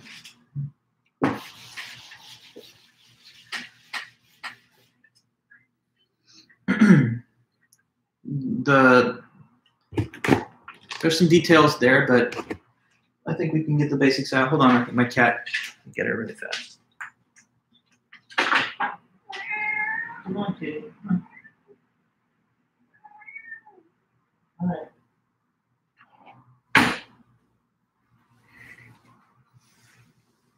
Okay, so yeah, person wants to go back in time and kill their grandfather. Um, that's Tim. Tim has a, a real strong motive to kill his own grandfather, but the thing is, his grandfather's actually already dead. So what he really wants to do is go back and kill his grandfather while he was still alive and in his prime. But okay, to do that, he would have to kill him before he ever um, fathered the parent of Tim. And therefore, he would like annul his own birth if he actually carried out this mission successfully. So the question of Lewis is what do you think? Is it possible for him to kill his grandfather or not? Can he do it or can he not do it? At first, he says both answers, yes and no, seem initially plausible. On the hand of yes, you know, he made a trip to the past and he seems to have a rifle and he's, you know, um, definitely going to try and make an attempt. So that makes it seem like why not? But on the other hand, when you look at a bigger picture, I hope you can understand why it seems like impossible because how would that make sense? If he kills his grandfather, then he was never born. But if he was never born, then he couldn't have killed the grandfather.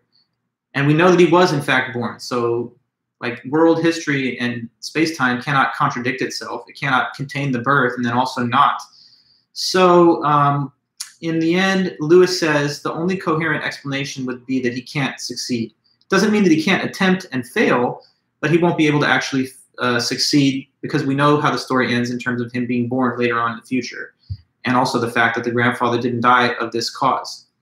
Um, one last point there is that he says the word can itself is sometimes ambiguous. Sometimes we use it in a narrow sense, and sometimes we use it in a broad sense. The narrow sense of the word refers to what a person can do given just a very limited range of factors about them. The broad sense of the word refers to what a person can do concerning a much more extensive range of facts about them. So when we say that he can, in the narrow sense, sure, because he's there, right? We just look at that, it seems like he can.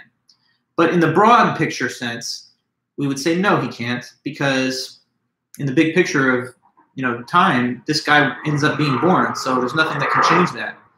Um, and I find that very interesting myself to think about it outside the context of time travel, because if the space-time theory is true, and after all, it is the consensus view of like modern physicists, if it's really true, then you yourself cannot do anything other than what you are actually doing or what you will do, uh, because the timeline is just baked into space time overall. And so you really only have the illusion of being able to do counterfactual behavior. So, like, since you're watching this lecture right now, you're predestined to watch it. Um, it was always going to happen, and it was always part of the overall playing out of events in the sequence that uh, constitutes all the moments of your life. Okay, so, and let me make sure I get these comments from you, Michael. Per problem that would arise if a person were to travel to a past time. The name comes from the idea that if a person travels to a time before her their grandfather had children and kills them, it would make their own birth impossible. Very good. Yes. Okay. So now we're going on to the philosophy of mind, and uh, you know that is our last topic. So we have a lot of questions on it, but we're getting close to the end now. So monism and dualism. Um, what are those two perspectives or views? Hint, they have to do with how many substances make up everything in this world. But what are the two different views? Monism says what? And then dualism says what? What are those different concepts? Monism and dualism. So that's just the question for now.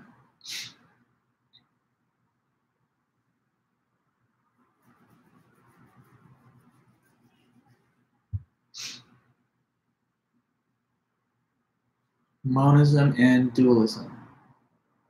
Two words, two definitions, one general interest, which is how many things make this world up. Okay, so Michael, monism says everything in this universe is only made out of one kind of substance. Correct. Yes, exactly. So from the monist perspective, everything around you, everything out there in the whole big universe, from the biggest to the smallest stuff, and you too, it's all just made out of one kind of substance. One. Now, Gilberto, what you say is there's one substance. Uh, now, let me be a little bit more careful though about that, Gilberto, because it monism says there's only one substance, but there's actually two kinds of monism, depending on which one substance is the one and only one. Dualism, as you say correctly, is that there are two substances. The universe is made out of two. Now, briefly, let us discuss what the two substances could be. Michael, dualism is everything in the universe is made out of two kinds of substance. All right, now to fully, completely answer this question, we just have to speak for a moment about what those substances are claimed to be. So one possible substance, uh, Gilberto, you referred to physical matter. Who could tell me just the basic definition of physical matter? What is it? Physical matter is what kind of thing? And then, or and then we can also talk about mind. So for any of you here, you know, see if you can get to it. And Mike was saying atom, anything that is extended in space. Yeah, so that's kind of like a those both are in play. Physical matter is anything that is extended in space, meaning that it just takes up some of the space. It's, it's there in space and it takes up some of it. Atoms are basically considered to be the most uh, minimal part of extended space. So extended matter. So good. Anything extended in space and at the ultimate level, atoms. Mind yes, good, Michael, is considered to be something that has no extension in space and is thinking. So it, it's more like a spirit or a soul, something that you couldn't weigh, measure, or look at with a microscope. Even it's just literally got no extension in space, but it's con- it's pure consciousness, not mixed together with physical matter at all. Now, what are the two types of monism? What are the two types of monism? And just tell me what the definitions are of both and then we will we, that'll be everything that you could possibly say about monism and dualism. You tell me what they both mean. You talk about what both of the substances are, and then you distinguish the two possible varieties of monism. So one of the two kinds is called. I'll just wait for it.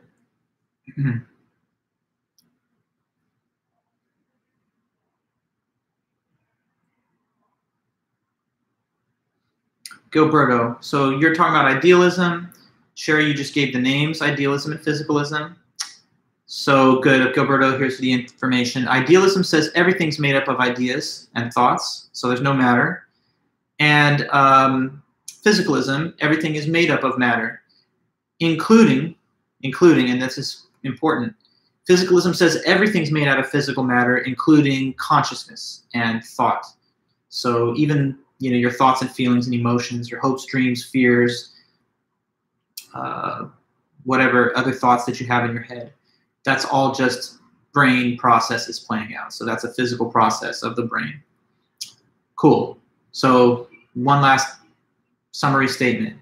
Monism says everything's made out of one substance, everything in the universe. Dualism says the universe is built out of two kinds of substance Dualists embrace both substances, physical matter and mind. They say they're both there. But for the monists, depending on which one they think is the only one, there's two different ways they can go. They could be physicalist monists who say if it's all made out of matter, even your thoughts are. Or they could be idealist monists, which to be honest is not the most prevalent anymore, but that holds that everything around you is just thoughts and there's really no such thing as physical matter at all. Okay, good. So that would that would be some info for that one. Next, we got 58.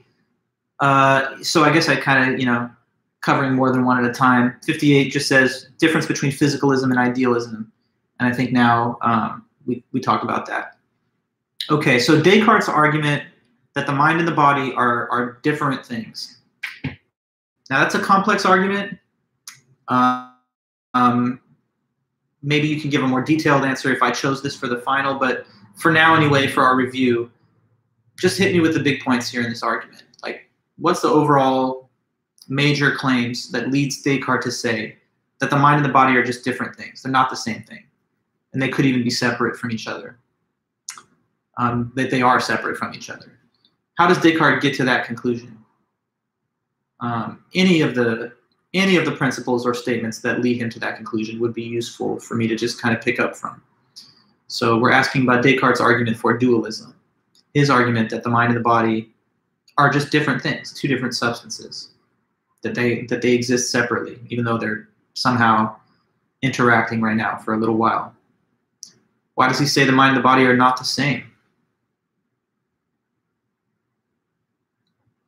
See if you can, you know, take a little bit uh, from your notes or from your memory or from the book, from any of those, and uh, just put something on the table for me here. Okay, because he can clearly conceive them uh, as what? I think your sense is almost complete, but there's a little, I think, few words missing out. Gilberto, mind is an influence from God, whereas the body has no relation to the mind. It is possibly just an imaginary portion of my mind. Yes, good. That's definitely relevant to the correct information to answer this. Um, so I like what I'm hearing from both of you. Anybody else? Michael or I don't know, Natalie or somebody out there? Uh, yeah, so he can clearly conceive of them being separate. Michael, using the method of doubt, I could doubt everything I perceive by the senses, even math and logic, right? So all of the stuff you guys are saying is correct, but it's it's a little out of the logical order that we need. So, um, but that's of course fair because you're just trying to contribute one little piece let me just bring these points together then. So it does start off with him saying that using that method of doubt that we talked about earlier, there's a whole bunch of things that you can doubt. Maybe reality around you isn't even real. Um, but no matter what, you know you exist uh, because you're thinking. Even if the thing that you are isn't even a physical object like a physical body, you know you're a mind at a minimum because you are thinking.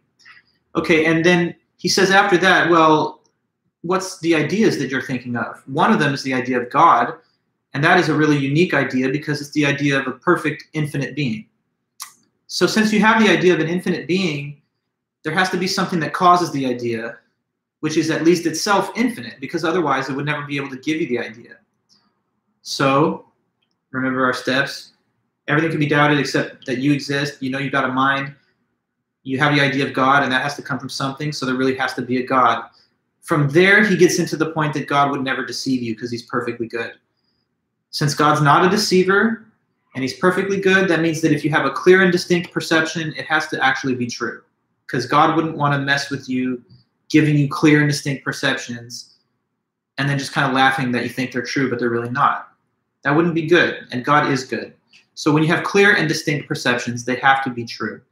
That's guaranteed and backed by the perfection of God. Now, after that, there's just a few more steps. One of the things that is clear is that if you can imagine two things existing separately, then they really can exist separately. And finally, I can imagine my mind and a body existing separately because uh, the existence of the body can be doubted, but the existence of the mind cannot. Therefore, since I can imagine my mind existing separately from the body, they really have to be two different things. And therefore, the mind and the body are two different things. So the basic major claims along the way are that you know God exists because you know you exist and you have an idea of Him. And you know God's perfect and He's not a trickster to deceive you. So clear perception's got to be true. Something that's clear is that when th- two things can be divided out in your thought process, then they can actually be divided out in reality. Like me and these glasses, I could take them off, and that's obviously possible. And since you can clearly imagine me and the glasses being separated, we're not the same, and we are two different things. So you can imagine the mind and the body being separated, like your soul escaping the body or no longer inhabiting it. And since that's possible, then they really are two different things. It's about conceivability. Since I can clearly conceive them to be separate, like we started with Sherry, and because God guarantees that clear things are true, that must be true. Okay, so that's his big dualist argument. Then, how does he get to the claim that the external world exists? Okay, so he also says that's clear and distinct, that the external world outside of you, like that you're looking around and seeing, it is not a dream actually. Now, towards the end of his book, he's comfortable saying it's clear that it's not a dream. But he gave some reasons for that, and we just want to mention what those were. So, who could say at least one or two you know, reasons that, like, it's very obvious that the external world exists? Um, so, yeah, what makes that seem pretty pretty obvious? and you can't just say because I'm seeing it, uh, because you got to be a little bit more nuanced than that. So, um, why is it clear and obvious that the external world is not a dream? Like, what is it about the experience that you have of it that that seems to show that it's actually externally real outside of your head? Okay, so this is because we don't have control over the world and we cannot make ourselves, you're saying, more powerful. Another reason is that I cannot feel what the other person is feeling when they touch a ball. Okay, Gilberto, good. Um, the only thing about the second point there that you can't feel what another person is feeling, that has to do with the next question, actually. So if you look at the list, the next question after this is um, why is it so clear and distinct that you have a body? So that you have a body is related to that other point. So we'll get to that in a moment. But the first part of your answer is correct. Uh, it seems like the external world exists because you can't just perceive whatever you want, right? So if I like look at this table and I'm like, let me just, I don't know, um, like by really, really thinking hard, I'm just going to manifest, uh, I don't know, a teddy bear right here. It's just going to appear on this table. But like, I can't do that. Like, I can think of one in my head, but I can't uh, see one as though it's outside of my head in the actual space. So reality, therefore, doesn't seem to be something that you can just mentally shape. Um, that means that it's actually real out there and it's not just something that you're creating. So one thing is that you can't control what you perceive. Another is that you cannot only perceive the things that are happy or favorable. Um, Natalie, that's another good one. Life is continuous and dreams are episodic. Yeah, he also does mention that. Um, so like today we're having a, a, final review session and last week we were having a lecture and those two uh, events connect. But a dream that you have tonight is not going to really have anything to do with the dream that you had like a week ago. So the continuity of the waking experiences is another reason to think that there's an external world. And there was this one more, which is that memories, like think back to a memory right now, it's not as sharp and vivid and clear as what happens in the present. And that only really makes sense if there's an external environment around you. Because why is it less vivid later? That's because you're no longer in the presence of the objects which gave you the original experience. So um, try and remember Orange Coast College. It's not as clear in your head as it is when you're in the building. And um, that's because when you're in the building, you're in the environment with the objects that you're looking at. Now, when you think about it in your mind's eye, without the aid of photographs or videos, uh, you have to recreate it as though you originally perceived it. But it's not as sharp. Now, if there was no external reality, then kind of remembering something would be the same as perceiving it in the first place, because in both cases, there wouldn't be an external environment around you. Okay, so that's all the information for why the external world evidently does exist. And now we can uh, go on to the next question. And maybe Gilberto, your comment now can come into play. The next one is, so how does he establish that, that you have a body? So saying that you have a body, how is that something that he believes can be um, reasonably judged? Why is that clear and distinct, that, that you have a body? So one of them, Gilberto, you kind of already talked about. That is that um, you cannot experience other people's sensations, only your own. So if somebody else is out there in the cold and I'm in my apartment with the heater on, I don't feel the the chilliness that they're experiencing um, because that's not my body that that they're being uh, affected by, right? So I only feel the effects and the stimuli given to this body, not to others. And then um, other reasons, if you could come up with another one or two. Yeah, the other thing is you cannot remove yourself from your own body, like you can't um, separate yourself from it, even though he says that the mind and the body can be imagined to be separate. That's something that happens at death, not like uh, in, in your current life that you're still existing in the body within. Um, but every other object out there in space, you can and you often do create a gap between yourself and it. You know, like when you park your car, you go away from the car. Um, when you go to college, sometimes you move away from your parents. Um, so you can go away from other things, but not the body there that's attached to you or that is is you, depending on whether you're a physicalist or a dualist. And then um, can't remove ourselves from the body. We experience sensations when it is affected, but not when others. And then the last is that you can control your own body.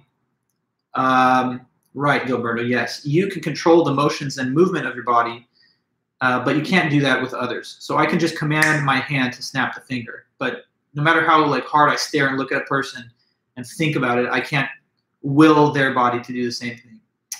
Um, I can make them want to do it on their own or something, or I can threaten them or something and make them do it that way. But I can't, you know, like through thought, produce the action. Okay, good. So reasons to have a clear understanding that you do have a body. Perfect. So now we're done with Descartes, and we're talking about the physicalists. So supervenience physicalism is question 62. Supervenience. There's an example that is used to explain the concept of supervenience. Let's start with that. What's the big example that the author uses to demonstrate that concept? Supervenience. Think of a blank. Certain type of uh, image is the uh, standard example there of the concept of supervenience. So we explore and explain supervenience with what kind of example? Daniel Stoljar talked about it. Um, physicalism says everything's made out of uh, matter, everything is physical. So, what is this attempt to explain what that means? There's an example that has to be mentioned in any discussion of supervenience. So, what is that example kind of about?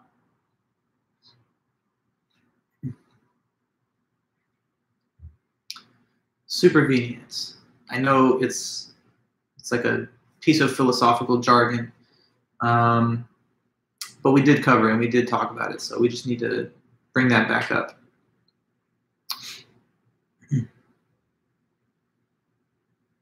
Now, I don't want you to get like lost in the sauce trying to like think of the right answer. I just want you to be able to tell me what kind of example this answer requires, and then I can take over and help you go from there. Um, but there's a basic sort of thing that he says we can compare the universe to, and this gives us the um, understanding of supervenience. So, what's this thing that the universe is compared with? in the supervenience discussion. and I've already said it's a certain type of picture, so I mean that's I hope really giving it to you. Okay, so Sherry, yours says two pictures of the same scene, but you got to talk about the dots, and you can't just say pictures because who knows what they're made out of. If it was brush strokes or something, it wouldn't be the same. You got to have little discrete um, elements. So Gilberto, we can compare the universe to a dot matrix. Okay, perfect. So what's a dot matrix? Somebody's got to tell me that. What is a dot matrix? Definition. What is that?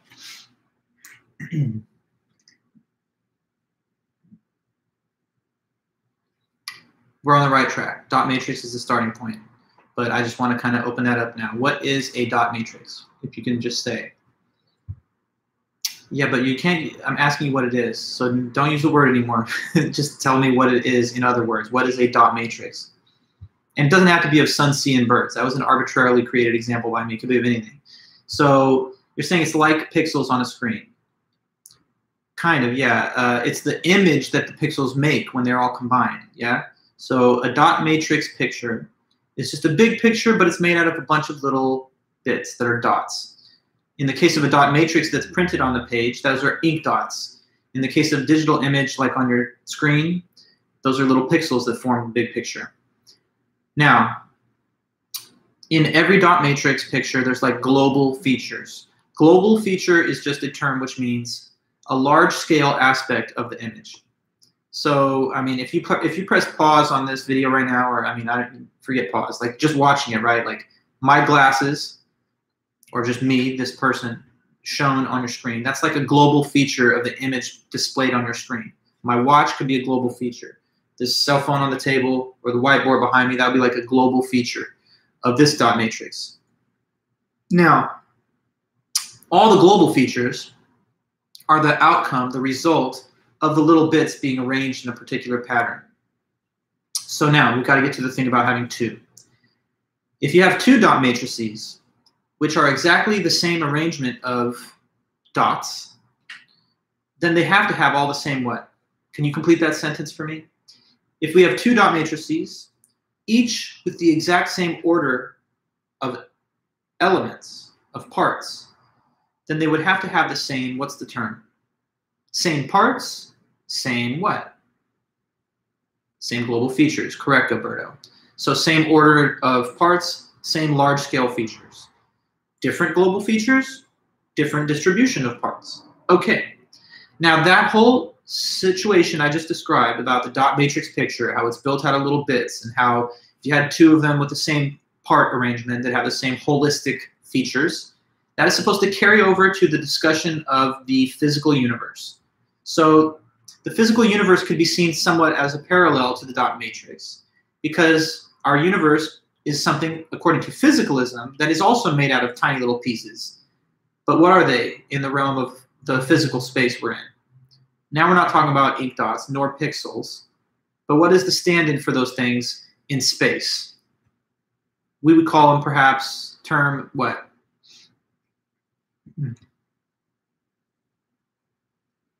The equivalent of the dots of the dot matrix are atoms of space, correct? So similar to the dot matrix, this universe is a big structure which is built out of tiny parts that are atoms. So same as with the dot matrix. If there were, uh, Shauna, so I was looking for the term uh, atoms, right? Atoms are like the most fundamental unit of matter. So now, if we had two different universes, but that they had the exact same atomic distribution of atoms, then they would have to have the same exact global features as well. So if you could imagine a secondary universe that's got exactly the same order of atomic particles, then in that universe, it would be exactly parallel to ours. There would be a copy of you and me and this meeting and everything happening in the world uh, because all those events are global features in the matrix formed out of atoms.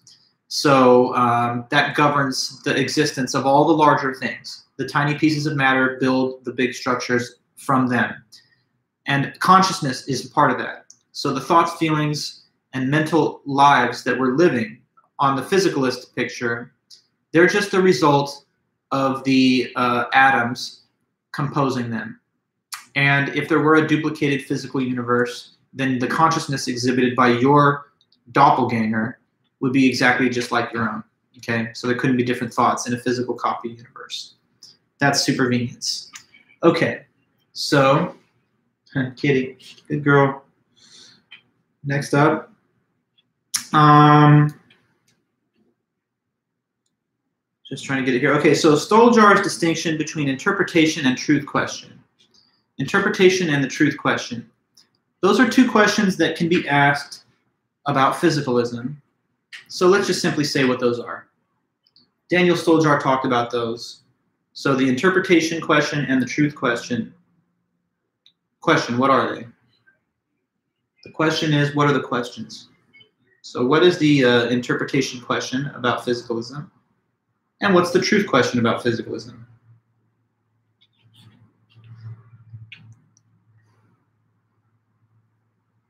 I'm, I'm just waiting for your response. So once I see it, I'll, I'll help uh, explain a little more.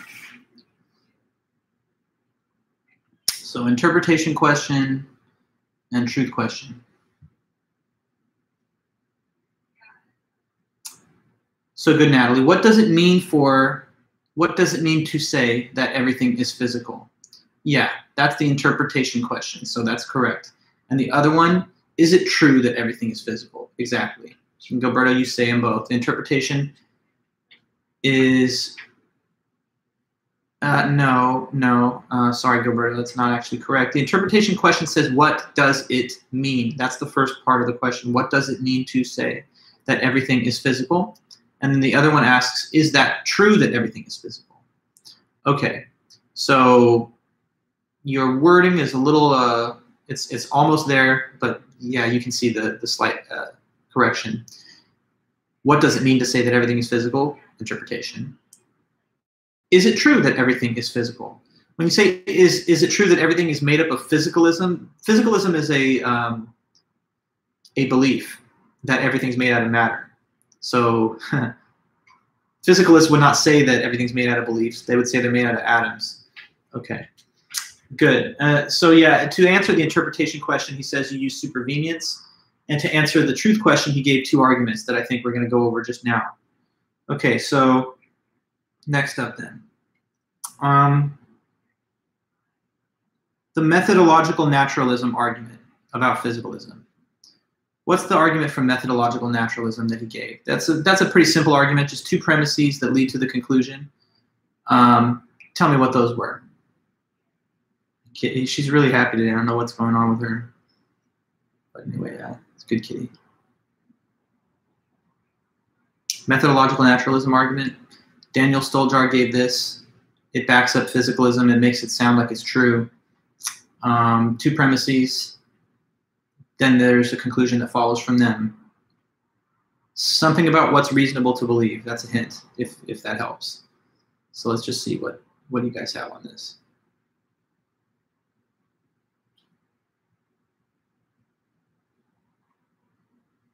Up, kitty?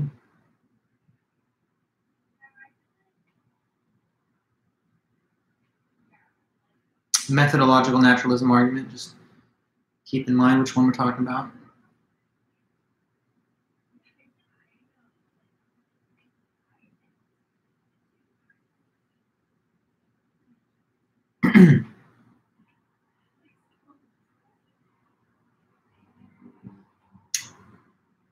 Okay it is Gilberto, you're giving it. It is reasonable to believe. Uh, us. so, when you write an argument, though, you should not give the conclusion at the beginning. The conclusion is what's stated at the end after the word therefore. So you would provide the premises first, and only after the premises should the conclusion be written. I understand that in everyday speech, though, sometimes we do it the other way. Someone will say, like, America's the best because we've got the most powerful military. So, like, you give the conclusion first, and then you say because, and then you offer the reasons. But in like in the standard form of logical argument, we should provide the reasons first and then give the conclusion afterwards, um, just as a piece of uh, format. So Sherry, it is reasonable to believe what is believed by the methods of natural science, premise one, but there's more to the argument. So after that, what's the next premise? You got the first one right. It's reasonable to believe what's believed by the methods of natural science. I guess if I sort of combine Gilberto and Sherry's response, that it's all right there. So let me just say it through. Premise one it is reasonable to believe what is believed by the methods of natural science. Premise two physicalism is believed by the methods of natural science. So, therefore, simply, it is reasonable to believe physicalism. Why? Well, because the premise he said, because it's reasonable to follow science. Science believes in physicalism. So, if you believe that too, you just get to kind of piggyback on the rationality of the scientific community who does believe that.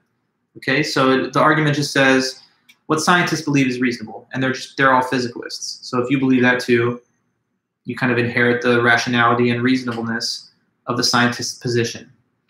In my view, though, that's not the most interesting argument for physicalism to be true because it kind of says just follow the lead of other people who are really smart. Uh, it doesn't say that you should be able to like come up with the reasons for yourself. But the other argument gives you, I think, a better argument. So next up, um, the argument from causal closure. Yeah, so let's talk about that one. This argument has three premises that lead to the conclusion. So let's just try and state some of them if we can. Causal closure argument.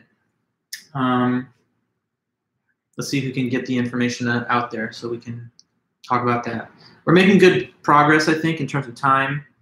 Uh, yeah, you know, we've got like 15 more questions or so. So we'll, we definitely going to finish a little early, but part of that depends on you, how fast you can respond to my questions. So causal closure argument. Um, every event which has a cause has a physical cause. That's the first premise. Good. What's the second premise? Every event which has a cause has a physical cause. And then, second premise is, is key.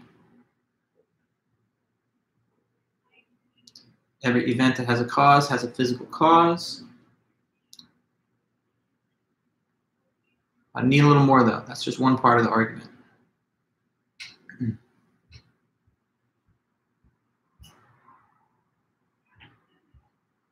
Every event which has a cause has a physical cause. No problem with that, but we need the whole argument. So what's the next premise? Sherry, I figure you got it. If you wrote the first if you wrote the first premise down, then you'd be in a position to see all the full argument wherever wherever that's written.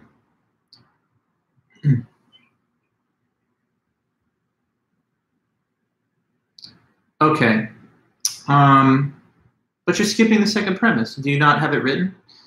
Every event has a cause, which has a cause has a physical cause.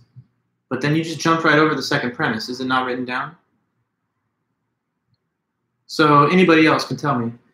Let's get the argument written out in the right order. So, uh, sure, Sherry, but I still don't see that you've written the second premise. I know there's a lag. Is it going to show up? Because it's still not there. Here's what you wrote. Every event which has a cause has a physical cause. And then you just say if an event A causes event B, then there's no event C which is different from A and which also causes B. But that's still missing the second premise. So it's not, you know, it's uh, you're skipping the main point. Uh, oh, oh, it is up there, so it didn't come through. Never mind. Well, that's fair. So mental events can cause physical events. All right, good. Let me let me get give you the uh, information in a really clear way. Premise one.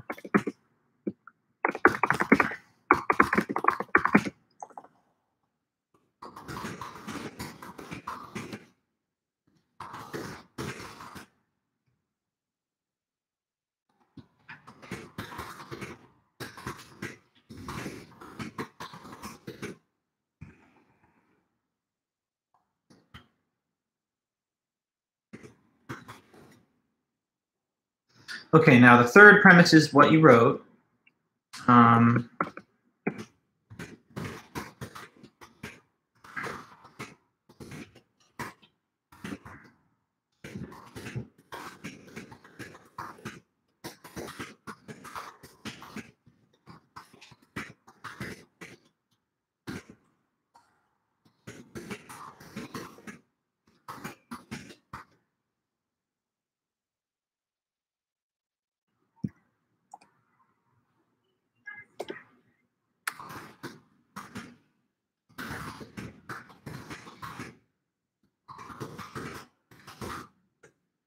Okay, so I just wrote the argument out so it's clear, um, so everyone can see the, the structure and the order of the premises. First premise, every event that has a cause has a physical cause. So if something happened, if some event occurred, of course something physical had to trigger it. Um, otherwise, how could it possibly have happened? So things require a physical cause. So every event which has a cause has a physical one. Second premise, mental events can cause physical events. So like if, if I say want to raise my left hand, it just goes up because I'm making it happen with my mind. So your thoughts can uh, produce your physical behaviors. That's all that the second premise is saying. Thought can lead to an action, whether it's snapping a finger, speaking, raising one's hand, or doing anything with their body. Now, the third premise is key because what it says is um, Sorry for the small typo, now I see it, but it should say the first word if. That's the only thing, the letter F missing. If an event A causes an event B, then there's no other event C which is different from A and that also causes B. Um, and that's exactly what you wrote up there, Sherry, except you do have it correctly written with the word if properly spelled. So the third premise is just saying that when there's a cause of an effect, that that's the only cause of that effect. So every effect just has one cause, not two, not three, just one.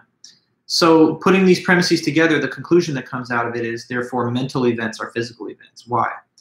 Because, okay, um, every event that has a cause has a physical cause. Your, your mind being able to compel your body to act, the physical cause there is the brain sending signals to the various parts of the body to do the actions with the muscles, right?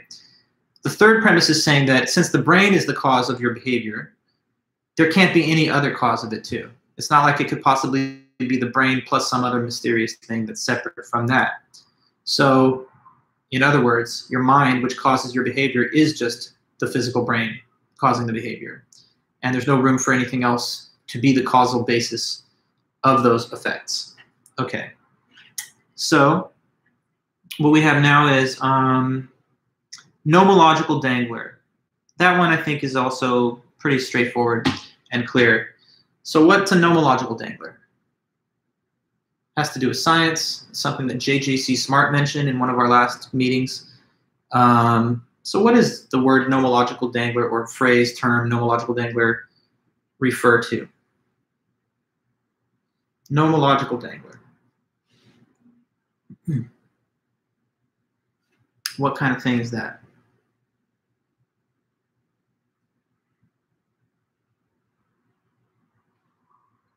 But yeah, so when scientists cannot explain, well, we can't call it discovery. It's actually the opposite of a discovery, like not knowing something. It's not discovering anything. So it's just when there's something that cannot be explained by science, something that remains unexplained by the physical sciences.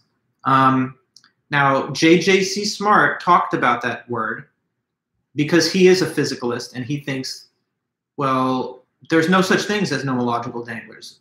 Um, everything can be explained by science, if not today, then eventually. And so he denies that consciousness is one of those nomological danglers. If dualism were true, then the mind would be something that's weird and spooky and can't be really physically uh, comprehended because it would be something that's outside the realm of physical things. So JJC Smart believes, never mind that. There's just brains. There's just brain processes. That's what consciousness is. That's what experiences and sensations are. It's nothing more than that. So from JJC Smart's perspective, consciousness is not a nomological dangler. But again, he mentions the term because he knows that if dualism was true, which he disagrees with, if that was true, then the mind would be more like a soul or something, and then it would be outside the realm of scientific and physical explanation. Okay. Cool. So uh, we're on to 67 in JJC Smart's article, he talked about this objection that a dualist might make to the claim that sensations are brain processes. So remember, JJC Smart's major uh, thesis in his paper is just sensations, which are conscious states, all that they are are brain processes playing out. And that's a physical thing playing out. So there's nothing other than the physical, even when it comes to the mind, which is the only thing people think is not physical. Um, so back to my question, just making sure. Yeah. So what's an objection that's being mentioned here? Someone says back to JJC Smart, wait a minute, no. Sensations can't be brain processes because, and here's the objection, a man may know nothing about brain processes. Elaborate on that. What's this objection going for? It says a man may know nothing about brain processes. Can you uh, expand on that a little bit? Give me some nuance there. What's being talked about in this uh, question about the essay. A man or a woman, whoever, may know nothing about brain processes. What's the larger argument that that's trying to gesture towards? Let's see if you can tell me a, a little something about that. And if not, then at least tell me what about it I could help you with. Okay, so Sherry, you say they are not aware of how the neurons and such fire to cause us to behave the way we do. Yes, but there's kind of like this um, this contrast that he actually mentions. He says we can talk about this, but we can't talk about that, and this is supposed to disprove the assertion that sensations are brain processes. So you have to refer to those two things. You're close, but so far all you've told me is that we don't know anything about what's happening in the brain. That's half of what he says. What's the other half about what we do know how to speak about? So we have no problem talking about one thing, but we have great difficulty talking about this other thing. We'll get to that, Sherry, but that's about the response. The morning and evening star thing is how JJC Smart kind of claps back against this objection.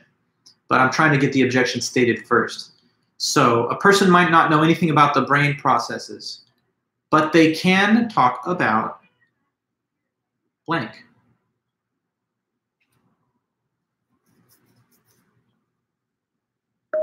One thing a person can talk about, one thing that they can't, good, sensations. Um, definitely you're sticking with the language of the author, which is fair, but I think most students will be like, sensations, what are those again? So sensations are your everyday conscious experiences, like feeling bored that you're still at a lecture, or feeling hungry that you still haven't eaten dinner, or feeling a little fear and anxiety that you could get sick um, with a terrible disease. Okay, so sensations could be anything happiness, sadness, pain, um, excitement, fear, you know, um, eating stuff, playing music, listening to music. Every conscious state that a person can be in is what he calls a sensation. So the objection to his claim that sensations are just brain processes, the objection to that, the pushback against that, is that, well, people can talk about their sensations, and they do, but they can't say anything about their brain process, and they don't know what it is. So how could those two things be the same, right? If I tell you that I went on a run the other day and I had a great run, I was really running fast, um, and that I was kind of tired in the middle, that's my explanation of my experience. But I could never tell you, oh, and like, and neurons were firing over here in this frontal cortex, and then there were like dopamine receptors over here generating the, the runner's high. You know, I, I don't know any stuff about that, even though I have basic familiarity with the concept. So how could they really be the same? If talking about your experience is no problem, but talking about the brain is a huge difficulty, then how could one claim that they're actually the same thing, which is what JJC Smart is claiming? Okay. Now, Sherry, uh, I think since you like the morning and evening star example, you could probably jump right into this. The next question says, what's the reply that he gives to that same objection that a man may know nothing about brain processes? So how does JJC Smart try to still say that even though we can't talk about the two things, they're still the same thing? What's his response to that? And it does have to do with the example that you're talking about, Sherry, so take it away if you've got the right answer. What's the reply to somebody saying sensations are not brain processes? Because I could talk about my sensations, I have no idea what's happening in my brain. Those are not the same thing. What's the reply to that? The rebuttal to that. so now we got a physicalist, JJC Smart, and he's like, no, sensations are brain processes. Your objection still doesn't work because, or it fails to, to disprove my claim. What's the reply?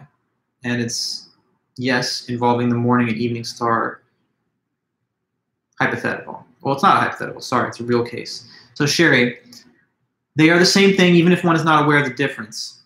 Yeah, but that's the example. Please explain the conceptual point and then refer to the example. That's always the logical order of things you talk about the, gen- the general and then you move to the specific, right? So like if I wanted to say um, people in a pandemic um, tend to hoard things, right? I would say that first, and then I would say, for example, look at the 2020 COVID pandemic, or another example, look at the 1918 Spanish flu pandemic. But I wouldn't just say, hey, here's a picture of people hoarding stuff in 2020, and then after that, I mean, you, you can do it either way, but usually you move from the general to the particular.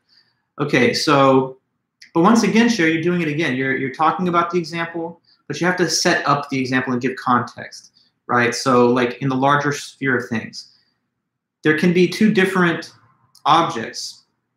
Um, sorry, there can be one object which is referred to by two distinct labels. Um, and even in such a case, that doesn't mean that there have to be two things. So like there can be two words for one object, even if a person does not have awareness that they refer to the same object. That's the like generic generic description of his response, which doesn't even make reference to the example itself. Then the example kicks in. Okay, so repeating myself. There can be two words or descriptions for a single object, even if the person does not know or understand that they refer to the same thing. For example, the morning and the evening star. Okay, so now I'll track your comment. Uh, there were, but once again, you have not, you know, you go, you jump in a little too far. You have to give the definition of the two things. So what's the morning star? The morning star is the brightest star seen in the morning sky.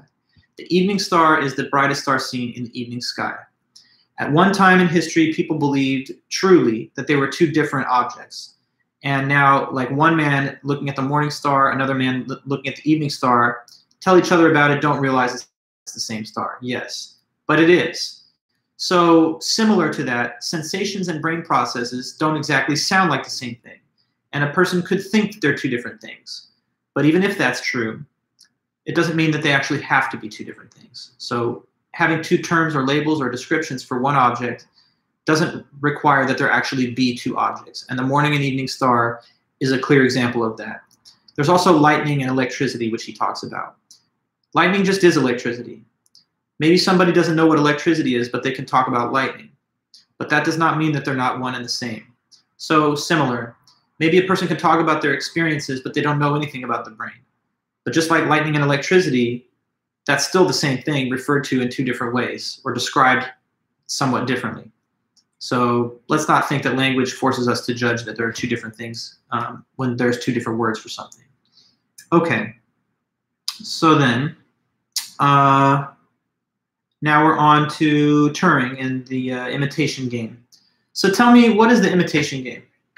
First of all, uh, this so-called game was invented by Turing in, in order to test whether machines have consciousness, whether computers basically could ever think like we think and have feelings and thoughts like we've got. So if this question was asked, I would just hope that you could kind of describe to me how you would set this game up if you're actually going to have someone play it. So how would they do so? Um, you're going to set up a Turing test. So what are the materials? And how is the game played? what's winning, what's losing. Just talk about the rules and the setup for the so-called imitation game. Let's hear that.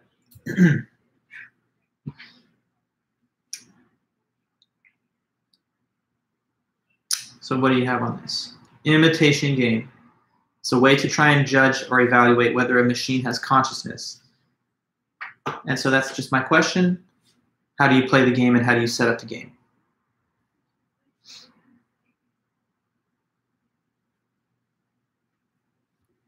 Materials, and then the procedure. So how is this game going to be set up and played? Hmm. Alan Turing, computing machinery and intelligence, the famous inventor of the digital computer. He stated the imitation game, and now you need to tell me about it.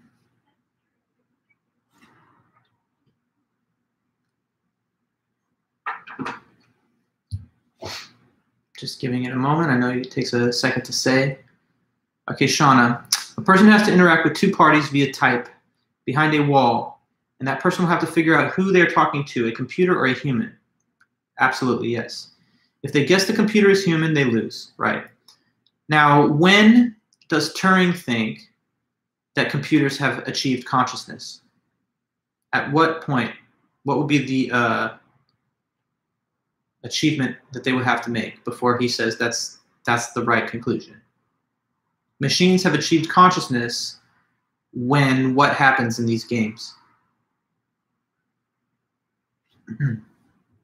so Shauna, that's very good. You've told how the game is played. Yeah, when the interrogator misidentifies about half of the time, exactly. So when whenever we get to a point in history where people who talk to computers can't tell whether it's a computer or a person, no matter what questions they ask. If you can't tell, meaning that you get it wrong roughly half of the time, then that would be, he thinks, the day where computers have got consciousness and where they're thinking like us, where they've got minds like we have got. So, um, so that's basically it. Set up the imitation game, you know, run it through and see if we ever get computers that can trick the interrogator to think that they're the human, um, at least around half of the time. And he believed that it's inevitable, that it will happen someday, that it's just a matter of time. Of course, in his day and age, in the 1950s and stuff, he was nowhere near that day, but we're a lot closer today.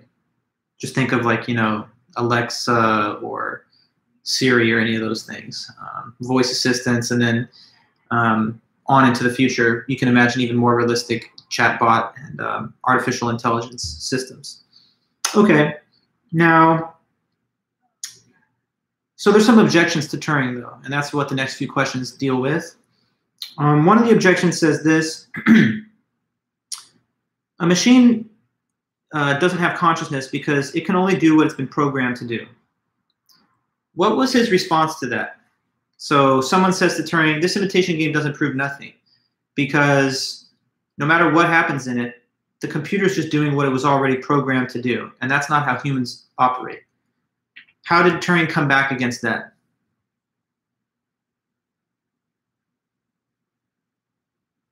Just let me know. So yeah, Machines, computers, they can only do what they've been programmed to do. Humans, not that way. Now here's Turing. Wait a minute. Turing says back what? What's the Turing rebuttal? Turing's response, his reply to the argument that machines don't have real consciousness because, unlike us, they can only do what they've been programmed to do. So, what is said in reaction to that by Turing to defend his position? that they can have consciousness. Okay, Sherry. His response is that humans are programmed as well, but we call it learning, not programming. Yes. They're the same thing. We cannot do or think about anything that we have not learned. Right. Um, if there's a language that you don't know today, then you're not able to speak it today. Uh, but if you take on a course of study in language, then after having accessed the vocabulary and the grammar uh, and focused on it, now then you'll be able to speak it. But um, information has to be given to you before you can act on it or to interpret it or examine it. So, um, like, none of us were thinking about the coronavirus last year because it didn't exist yet, and that information wasn't available to our mind to think about. Uh, of course, there were other previous pandemics and all those kind of things, but we couldn't have been thinking about the nature of this current thing until something happened that we could then take notice of. So human beings can only think about new ideas when they encounter the new ideas from some external source. Um, like a baby born today can't speak, but if it gets the right kind of input from outside of it, then it will learn that ability. So humans too, like the computer, can only do the things they've been programmed to do. And as you said, Sherry, good way to put it, we call it learning as a human. Um, but it's really not a different concept than having information given to you from some outside source that now you can integrate into your network of concepts. So it's kind of like we're just very powerful computers. Okay, so that's one, that's good. Uh, explain Turing's response to the idea that a machine can only mimic conscious behavior, but doesn't really have any feelings or sensations. What about that one?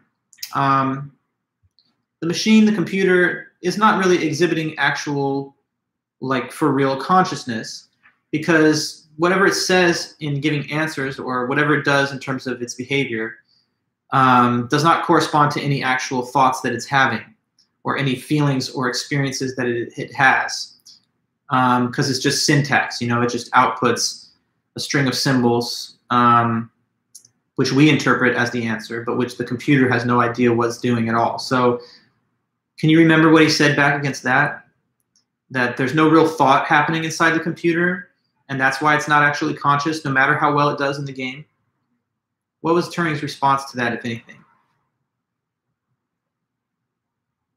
So the idea was given that um, they don't really think inside.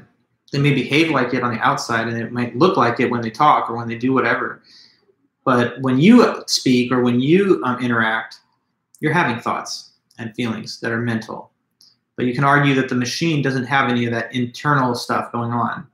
It's just behavior on the outside, but nothing internal. What is Turing's response given to that, if anything? He does have a response. So what is it, though? the machines just don't think really is, is the nature of this it's like the objection from consciousness it's lady lovelace's objection hmm. Or no it's the objection from consciousness lady lovelace is, is that they're doing what they're programmed to do but uh, but anyway, you heard the objection. Despite the outward behavior that you could observe, there's no internal character of mentality or thought. Uh, yeah, no, it's not that one, Sherry. Um, it's a different one of the objections mentioned, but that's that's in that's in the mix, but it's not about this particular question. Um, it has to do with like first person access to consciousness and stuff like that. So, I mean, that's a little bit of a hint, which I'm saying in a little bit of uh, elevated language to give you still something difficult to think about. So, um, they say the computer doesn't really feel inside, but we do. Now, what's wrong with that objection to the thought that machines could have consciousness? The objection again that they don't really think or feel, but we do. Shall I uh, offer you something, or is I just don't know how to interpret the the long pause as we wait for some information to come back. It's a pretty recent lecture, so I thought maybe some of you would have this, but one way or the other, we'll get it out there. Uh, you got nothing for me on this one? Well, okay, let me jog your memory. So, uh, but hold on, Sherry. There you go, right. We cannot know that anyone or anything has consciousness except for ourselves. Right. So for you to evaluate whether other things have consciousness, not you, because you obviously know that, Descartes, of course, would tell you that's something that's the most obvious thing that you know that you have consciousness. But do other things out there have consciousness? Well, they seem like they do, like humans that you interact with. But can you really prove it by feeling their thoughts? No, because you can only feel your own thoughts and experience your own thoughts um, from the internal uh, first person perspective. So when it comes to everybody else besides you, the only way you can judge if they have consciousness is to look at how their behavior is and see if it sounds like or looks like that they're conscious beings. So he says then the same is true of the computer. Um, you don't have any more access to its consciousness than any other person's consciousness. So when it's behaving in a way that exhibits all the features that we think consciousness would, why should we doubt that that's consciousness? Unless you're so skeptical that you don't even really know for sure if any other people outside of your mind have consciousness. Okay, so the only test for whether things can think and feel is behavioral test. Because to feel the feelings, you're limited to the one person that you are in terms of having those feelings and experiences. Okay, so gonna keep going. Got just a few more now. Turing's response to the mathematical objection. First of all, what is the mathematical objection to Turing's account? The mathematical objection says that for certain um, technical reasons, there are always going to be certain questions that a computer could never answer, and that humans are different from that. Um, all right? Okay, I gotta hold on one second.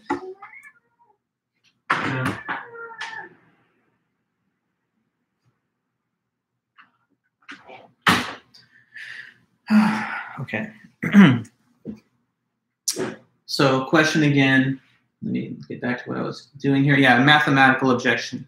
So, for certain technical reasons, there are always going to be questions that a computer could not answer but you might think that's not the way human brains work because a human can always come up with some type of answer for whatever the question is. What was the response Turing gave back to that? Uh, well, his response to this one was, again, it's kind of like the one about how you can't do anything other than what you're programmed. And then he said, oh, the human brain's the same. Here he says there are also some questions that a human brain could never answer. Um, so we're not actually different from the computer on this score. Like if you try to answer the question, uh, does the universe have a beginning or not? What's the largest number? These are questions that you'll never be able to really fully comprehend an answer to. And so there are also limits of the human brain in terms of giving answers to information questions. Um, so we're not actually a different breed than the computer. Um, they have their mathematical limits, and we also have our own computational and conceptual limits. They're just things that we don't often think much about. Okay, so now we're on the very last topic. Just a couple questions about this. Uh, this is all now about what makes a life go well. And last week we discussed um, two authors about that. There was Plato and Sartre. So starting with Plato, what did he say would make life go as well as it possibly could go? What's the basic blueprint um, according to Plato, that we should follow if we want to have the best life you could possibly have.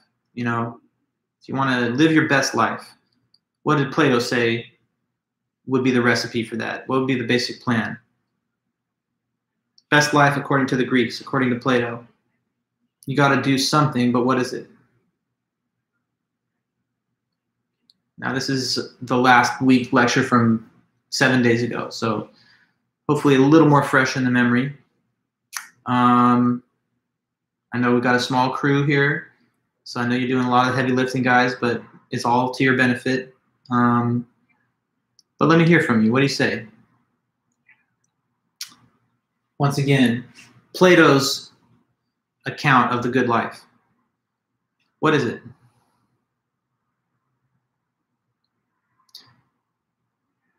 Uh, hmm. Well, I mean, that's one way to put it, Shauna, but it's way more detailed than that. A lot more detailed than that. We got to talk all about these different parts. Soul. Okay, so Sherry. So he defined three parts of the republic and the soul, and everyone should do their part and stay within their system. Same for the soul. Yeah, but again, um, the devil's in the details, and this is not detailed enough.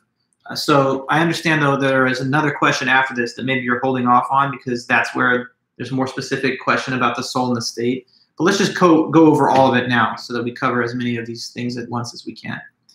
So, okay, what are the three parts of the Republic? Right? No, that's correct also, Michael. Yes. Uh, but let's take it slow, yeah? Three parts of the Republic. Uh, let's do Republic first, then we'll connect that to the soul afterwards, Sherry. That's a good question. So, in the Republic, some people are blank, other people are blank, and then you have, okay, so merchants, warriors, and kings. Kings, yeah, I see. Merchants, their job is they're producing goods and services that people trade and sell for profit in the market. So that's the biggest, largest class. That's all the people working a trade or a craft and making money off of that. The second group are the warriors. Their job is not to produce goods, but instead to provide defense. So they're like military or police they secure the state against invasion and protect it against like riots and internal division. And then you have the kings. The kings are the leaders. They're the ones that um, run everything. They're like the heads of the state. And um, so anyway, there's those three parts of the republic. Who should be running everything? The kings. And uh, the other parts should do their job too, but they should not try to challenge the rule of the king. They should each be peacefully submitted to the role that they're doing. He also says there's a virtue of each of the three parts. A virtue is a quality that if the thing has it, it's able to do its function or job very well.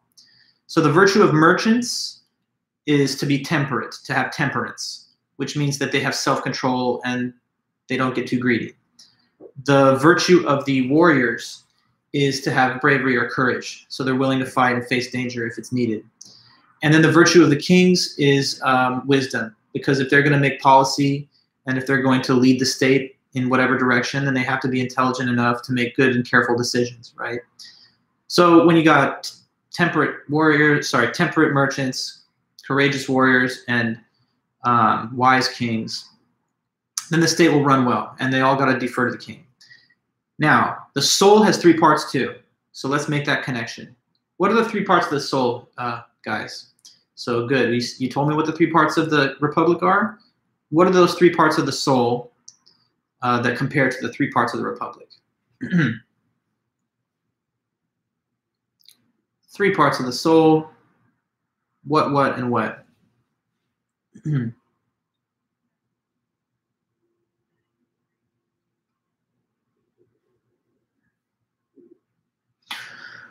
Let me know. Three parts of the soul. Definitely has to be mentioned we're halfway home. We, talked about the Republic and the parts that it has. Okay, good. Appetitive, spirited, and rational. And little description here. The appetitive part of your soul is like the part of you that wants stuff and that has desires, and as they're called, appetites. So things that you want and the, the, you hope that they get fulfilled. The, the spirited part of your soul, uh, no, I think that's all spelled correctly, actually. So the spirited part of your soul is the part that has um, passion and pride. And it's very competitive. Um, it likes to win, it hates to lose, doesn't want to be disrespected. That's kind of like the warriors. The appetitive part's kind of like the merchants, and then the all-important rational part of your soul is like the um, the kings. That's the part of your soul that should lead. Um, and so, if the three parts of the soul are in the same harmony as the republic, then that's a good life. So, if your wisdom and rationality is ruling, and your appetites and spirit are um, supporting it and doing their job, uh, but not trying to interfere with the jobs of the other parts, then that's a life well lived. That'll produce good and just behavior and um, imbalance among the parts of the soul or granting too much power to the inferior uh, appetitive or spirited parts, allowing them to run the show, that could lead to unjust behavior and um, corruption of the soul. So try and do for your soul the same as what's done in the ideal republic. Appoint to position of power your reason, allow it to preside, have all three parts doing their job, but according to their virtue, and then that would be the best case for you. So that's what Plato believed. To answer that, then, we've covered a few things. Um, 73, talked about the harmony and balance. 74, we talked about the analogy between the different parts. Now, 75 and 6, they kind of have a connection also. So tell me, why did he say that nobody could benefit from injustice, even if nobody knew about it? So why does injustice not benefit you? Um, even if it's not discovered by anybody or anything. Um, tell me about that. Yeah, so he gave a metaphor of a three-headed creature to help make his point here.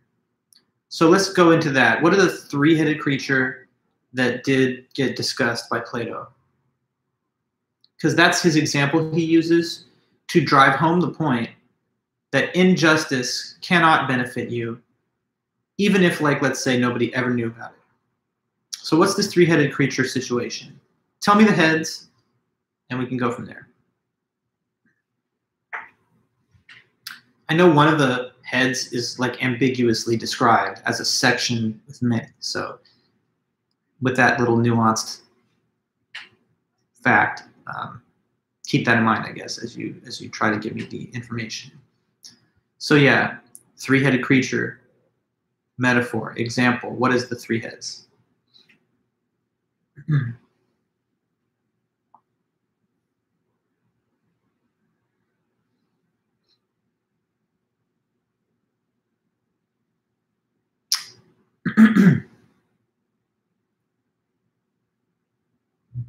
Let's just see, we've got it. Okay, good. So Sherry, one head's a large one with many small heads coming out of it. That's the appetitive part, right? And uh, I kind of think of them as like little gargoyles because they're described as beasts that are hungry. So there's one section, yes, of a bunch of little snapping gargoyle heads. What is the other two? Okay, so we got our gargoyle section. Other than that, we've also got what? So you got it right about the, the small ones that are appetitive. The other one is like a lion, and that's the spirited part, the sort of proud, um, fighting warrior part of you. And then the third part, which stands for the rationality, that's the human head. Okay, good. Now he says this suppose that when everybody else looks on, like outside observers, when they look at this being, they only see the normal looking human head. So, hey, how are you? Oh, good to see you. Like they just see a human head presented to them. So nobody can think that there's anything too strange. But imagine that behind the scenes, there's this actually going on. That the human head is being dominated and enslaved by the other parts. That the gargoyles are lunging at it and trying to bite him. And that the lion is also overwhelming him and causing him to cower in fear. If that's what's going on inside of this person, then they're not living so well. Even if everybody on the outside just sees a healthy looking human presented to them. And he says this is the cost and the price that you pay for being unjust. So while you're going around ripping people off, lying to them, stealing, trying to always get ahead by cheating, and nobody finding out about it, you may be thinking, wait, this is great. I'm living a great life. But what's actually going on inside of you is like you're feeding your appetites to such an extent that they go out of control, and you're um, feeding the passions and pride within you and your emotional um, states to such an extent that they get out of control. And now your reason is becoming weak and it cannot exert any influence over your behavior. So the rational part of you, like that voice in the back of your head that's like, but is this really a good idea? You're causing it to become very weak and very um, powerless. And that's actually the most human and godly part of you. So you're kind of enslaving the best part of you and you're boosting up and empowering the lower parts. Now you're also putting them at war with each other because your reason keeps saying, here's what I ought to do. But it gets reprimanded by these inferior parts of the soul that shouldn't be controlling everything. So he says basically you set the parts of your soul at war with each other when you don't put them in the right type of harmony and balance and allow the humanity within you and the reason within you to rule. Um, so nobody benefits from injustice. They might think that. They might think, well, I'm getting away with it, so who cares? But it's not about other people noticing you doing it. It's about what happens to you inside on your inside of your soul. So do it if you like, but you're going to pay a price, and um, you're going to corrupt the most godly and divine part of you for the lower and inferior parts. Okay, so that's like kind of uh, 75 and 6. And now I just have a couple questions for you on the last author, which is Sartre, existentialism. Um, what's existentialism? Can you just give me the big motto of the existentialists? They say something precedes something. What is that statement? And then we can expand on that. Existentialism claims that something comes before something else. But what is that statement that is uh, that I'm mentioning here? Blank precedes blank. That's like the fundamental statement of, of existentialist philosophy. What precedes what?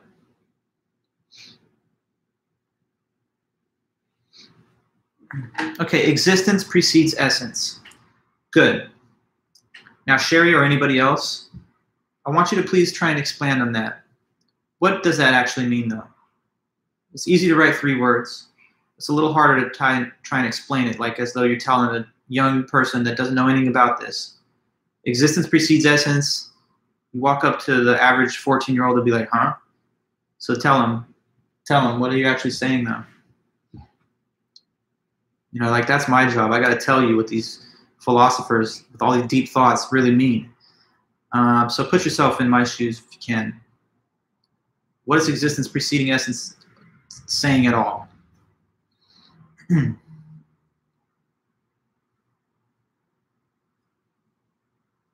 we know precede is to come before, and I think you I think you have a clear enough memory of uh, this discussion from last week existentialism is, I always think, one of the topics that people latch onto. They find interesting because it speaks to you know stuff about your own life. Um, but yeah, existence precedes essence, meaning what? Okay, existence precedes the attributes that define you, right? So good. When you start off existing in this life, you don't have an essence yet. The essence of a person is just the core defining attributes of that person. So in my case, I would tell somebody I'm a professor, I'm a philosopher, uh, I love music, I love travel, um, I love reading books. Um, I don't know, politically, maybe center left, um, you know, um, et cetera, et cetera. So you talk about the, the core identity that you have and what it's like. And so Shauna, good addition they say that the essence is created over life by your choices, by your free will. So it's not given to you by outside forces or factors. It's not like your essence is just handed to you on a plate and you just live according to that. You create it and you're totally free in the creation of it. So when they say existence precedes essence, they mean that you know you live but you create and shape your own identity according to your will. That's a good comment for sure.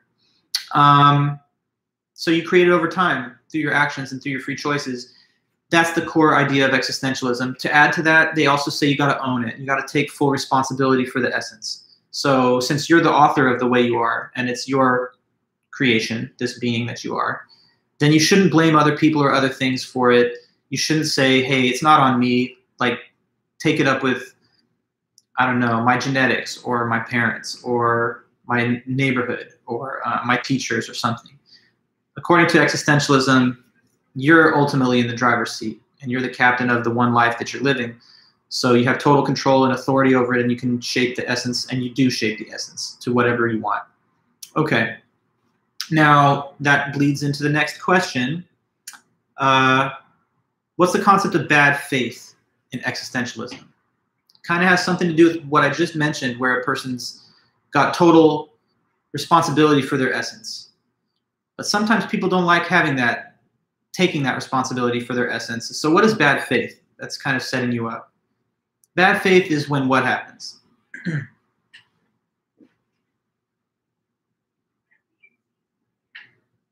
Yeah, what is the bad faith concept?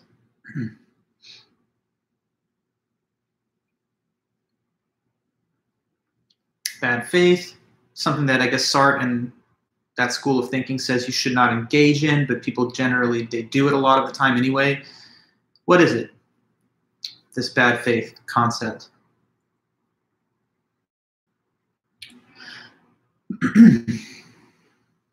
bad faith. What's bad faith? Okay, so when you try to place responsibility for your essence on on outside external factors that you could not control. So yeah, it would be like someone saying, you know, I'm this. Uh, so Shauna, you say pressure from social values adopting false values.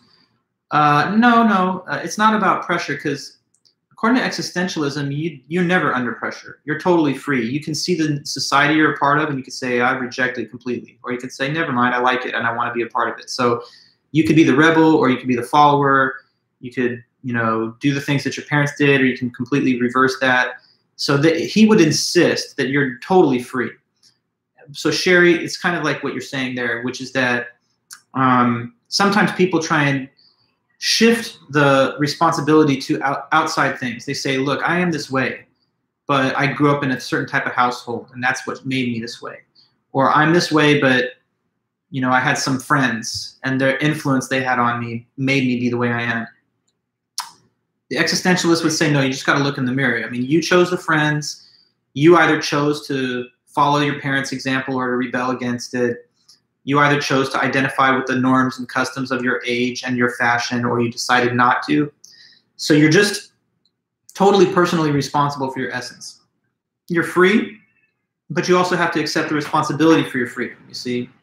So that's the overall picture that he's trying to shape and describe. You create your essence don't think that it's anybody or anything else that does it. And any attempt to, you know, place that responsibility away from you and on other things would be a case of bad faith. Okay. So, um, why did Sartre say that each individual man is responsible for creating all of humanity? Why did he say that?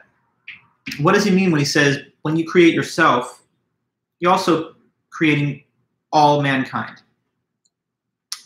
Can you make sense of that for me?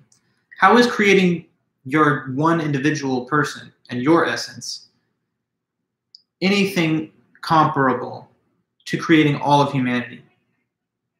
So we've covered that first part that you create yourself and you're totally responsible for it. So you got to own it and not engage in bad faith but uh, you know, well, you heard the question, so let's see. I want to get your response. Creating all of humanity. What does he mean by that? Obviously, it's not literally true. You don't literally create all of humanity. But what does he mean? Like, what's the sort of kernel of truth in the statement that you create all of humanity? Or what is the sort of metaphorical truth behind that idea? if you create yourself, what does that have to do with creating all of humanity?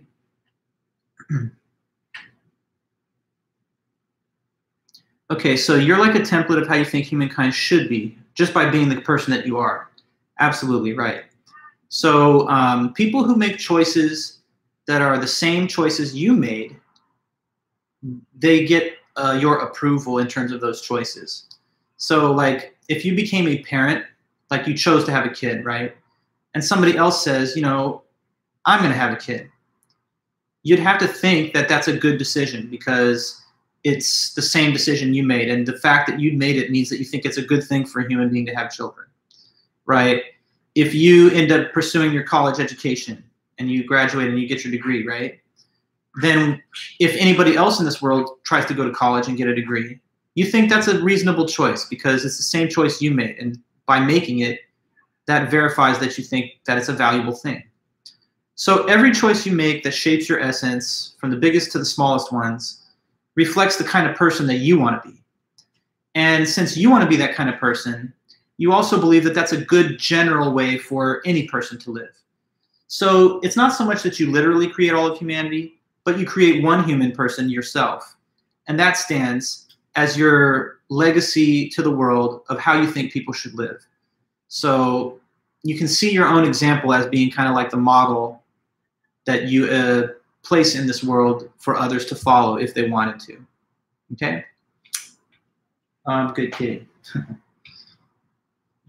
like a cat does not create its essence, you know, because according to him anyway, they have no individualism, they got no free will. But I don't know, this cat's like pretty special, so sometimes I wonder if that's really true. Okay, anyway, going on. Um, Sartre says that we're condemned to be free. That we're condemned to be free. Now, why does he say that? Well, it's because it's kind of like a catch 22. In existentialist thought, you're free to be anything. Uh, yeah, she does seem to have essence, really. You know, yeah, so they say that you're free to be anything. Um, but the one thing that you're not free to do is to not be free. Um, that's just the human condition, having this freedom he says that we're kind of condemned to be free because sometimes the freedom we have is a little scary, right? Because you have this awesome responsibility over the establishment of your own being and your own essence. Um, you're put in this world to shape your essence in whatever direction that you want, but you cannot escape your freedom. Um, it's given to you, and it's a condition of being a human being that cannot be avoided. Why would you ever want to avoid it? Well, because it's stressful making decisions with your free will. Just think about little decisions that you have to make. What major should I choose? Should I marry this person? Should I not? Where should I live? Should I have children? How many? Uh, you know, what kind of uh, profession should I enter once I do achieve my degree? Now, when you're making all those choices in life, and you inevitably will, and you are making them, uh, you want to make the right choices. But to existentialism, there's no fact about what's the right choice because each one of us has our own perspective on what the best life is that we put into action by making our own selves be what we are. So it's sort of like if you want to get off of this ride and be able to stop making choices, unfortunately, you'll never be free of that. For as long as you live, free will is going to be your, your um, I guess, privilege, but also your burden. Because some of us would probably like to be able to say, can I just live like this cat and not have to choose anything anymore? This cat doesn't make big decisions. It's not choosing a major. It's not choosing, you know, where to live, what political values to have. Should I be religious or not? Um, should I be more humanities, more science person? Um, you know, should I serve in the military or should I just, you know, work in uh, the government? So all the millions and billions of decisions that a human has to face, an animal like this, for better or worse, it doesn't have those thoughts and worries sometimes we'd like to be able to get off of this cycle of having to make decisions with no objective basis, but that's something that cannot be done. You're burdened with your freedom. So, in his mind, it's like freedom is liberating and interesting, but it's also kind of a little scary and uh, oppressive. And that's why he says we are condemned to be free, us humans. Freedom is our permanent condition, and we're forced to be that way. Now, Camus and some other people talked about like suicide um, that humans have this unique capacity that other animals just don't seem to show of being able to like decide to end their lives. And uh, some people think that, um, like, oh, I didn't choose to be born, right? Uh, but Sartre says that even that is a choice that you are making right now, because you could always make a decision to end your life if you really didn't like what you were doing or you didn't like the fact that you're alive which I hope nobody ever does choose to do because your life has, you know, the most value and it's the most precious thing. But um, anyway, if you are alive right now, it's because you're choosing to still be alive because you have the ability to end your life if you really wanted to. So even the fact that you're alive, maybe not the fact that you were born, that's part of the facticity, But the fact that you're alive now is a choice that you're making. So everything is free will in, in a human life, every little aspect of it. Sometimes the free will strikes us as a great um, liberating thing, and other times it seems like a burden that we have to carry when we're making tough choices about what we think we should do without any objective basis, at least not according to existentialism. So we can't escape our freedom. We got to live with it. Best to try and, uh, I guess, take an optimistic attitude towards it instead of be pessimistic or cynical, thinking that um, thinking that it makes the human condition too difficult to bear. So yeah, I mean that's all the questions uh, we covered in the second half of the study guide.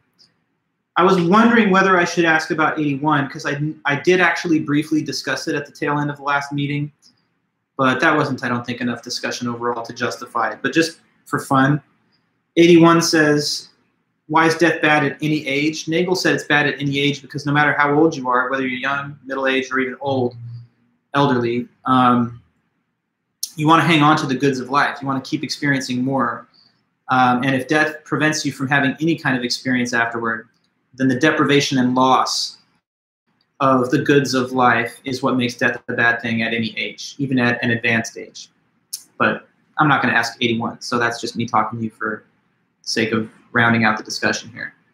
So look, guys, we've come a long way. Uh, we covered a lot of territory in this class, um, and I really think that it's been an interesting semester for all of us, right? I mean, something we'll never forget um, going through this. But I really appreciate all you guys' hard work throughout the semester. I know that attendance is up and down, and as we're getting close to the end, and this is a night class, it, it's something I expected. But uh, the group that's watching right now, it's a great thing that you guys stuck with it, and um, I really appreciate all your hard work, and I'm wishing you the best, uh, not just in this class, but on all the other things that you're going to pursue later in life. So. Uh, let me know if you had other questions as we get closer to the final next week. It's next Thursday at 6. I'm going to send you guys the test form uh, by 6 p.m. on that day and you have three hours to write uh, the answers and send it back as an email attachment to me. I'm going to be grading your essays this weekend. They'll be done before the final for sure. Uh, I'm going to try and make sure they're done like no later than Tuesday at the latest so that you can get your score uh, before you go into the final. So I'll be in touch with you over Canvas um, so that you can know when it's done. And yeah, just send me uh, this essay by email if you've not done it yet. I, some students were asking me about that. Um, but yeah, standard thing for me would just be to send it by email. No other submission method is um, available for, for my class. Okay, guys, so have a great one. I really do uh, appreciate all the hard work that you guys have put in, like I said. And um, we'll always have this memory of this semester. So when things come back to normal, uh, stop by and say hi. Hopefully that happens in the next year or so, even though I think the fall is going to be more online learning. Um, I'm teaching critical thinking in the fall. Some of you guys, if you're interested in that topic, you may decide to, to take that class. Um, so anyway, can consider your options. But for now, anyways, thanks so much, everybody. Michael, Sherry, Shauna, Gilberto, and everybody else here watching. Uh, it's been great, and I'll be in touch. So we're not done yet, though. Study hard, and let me know if you need any help, and we'll be good on the final exam. All right, then. Have a good night. See you soon.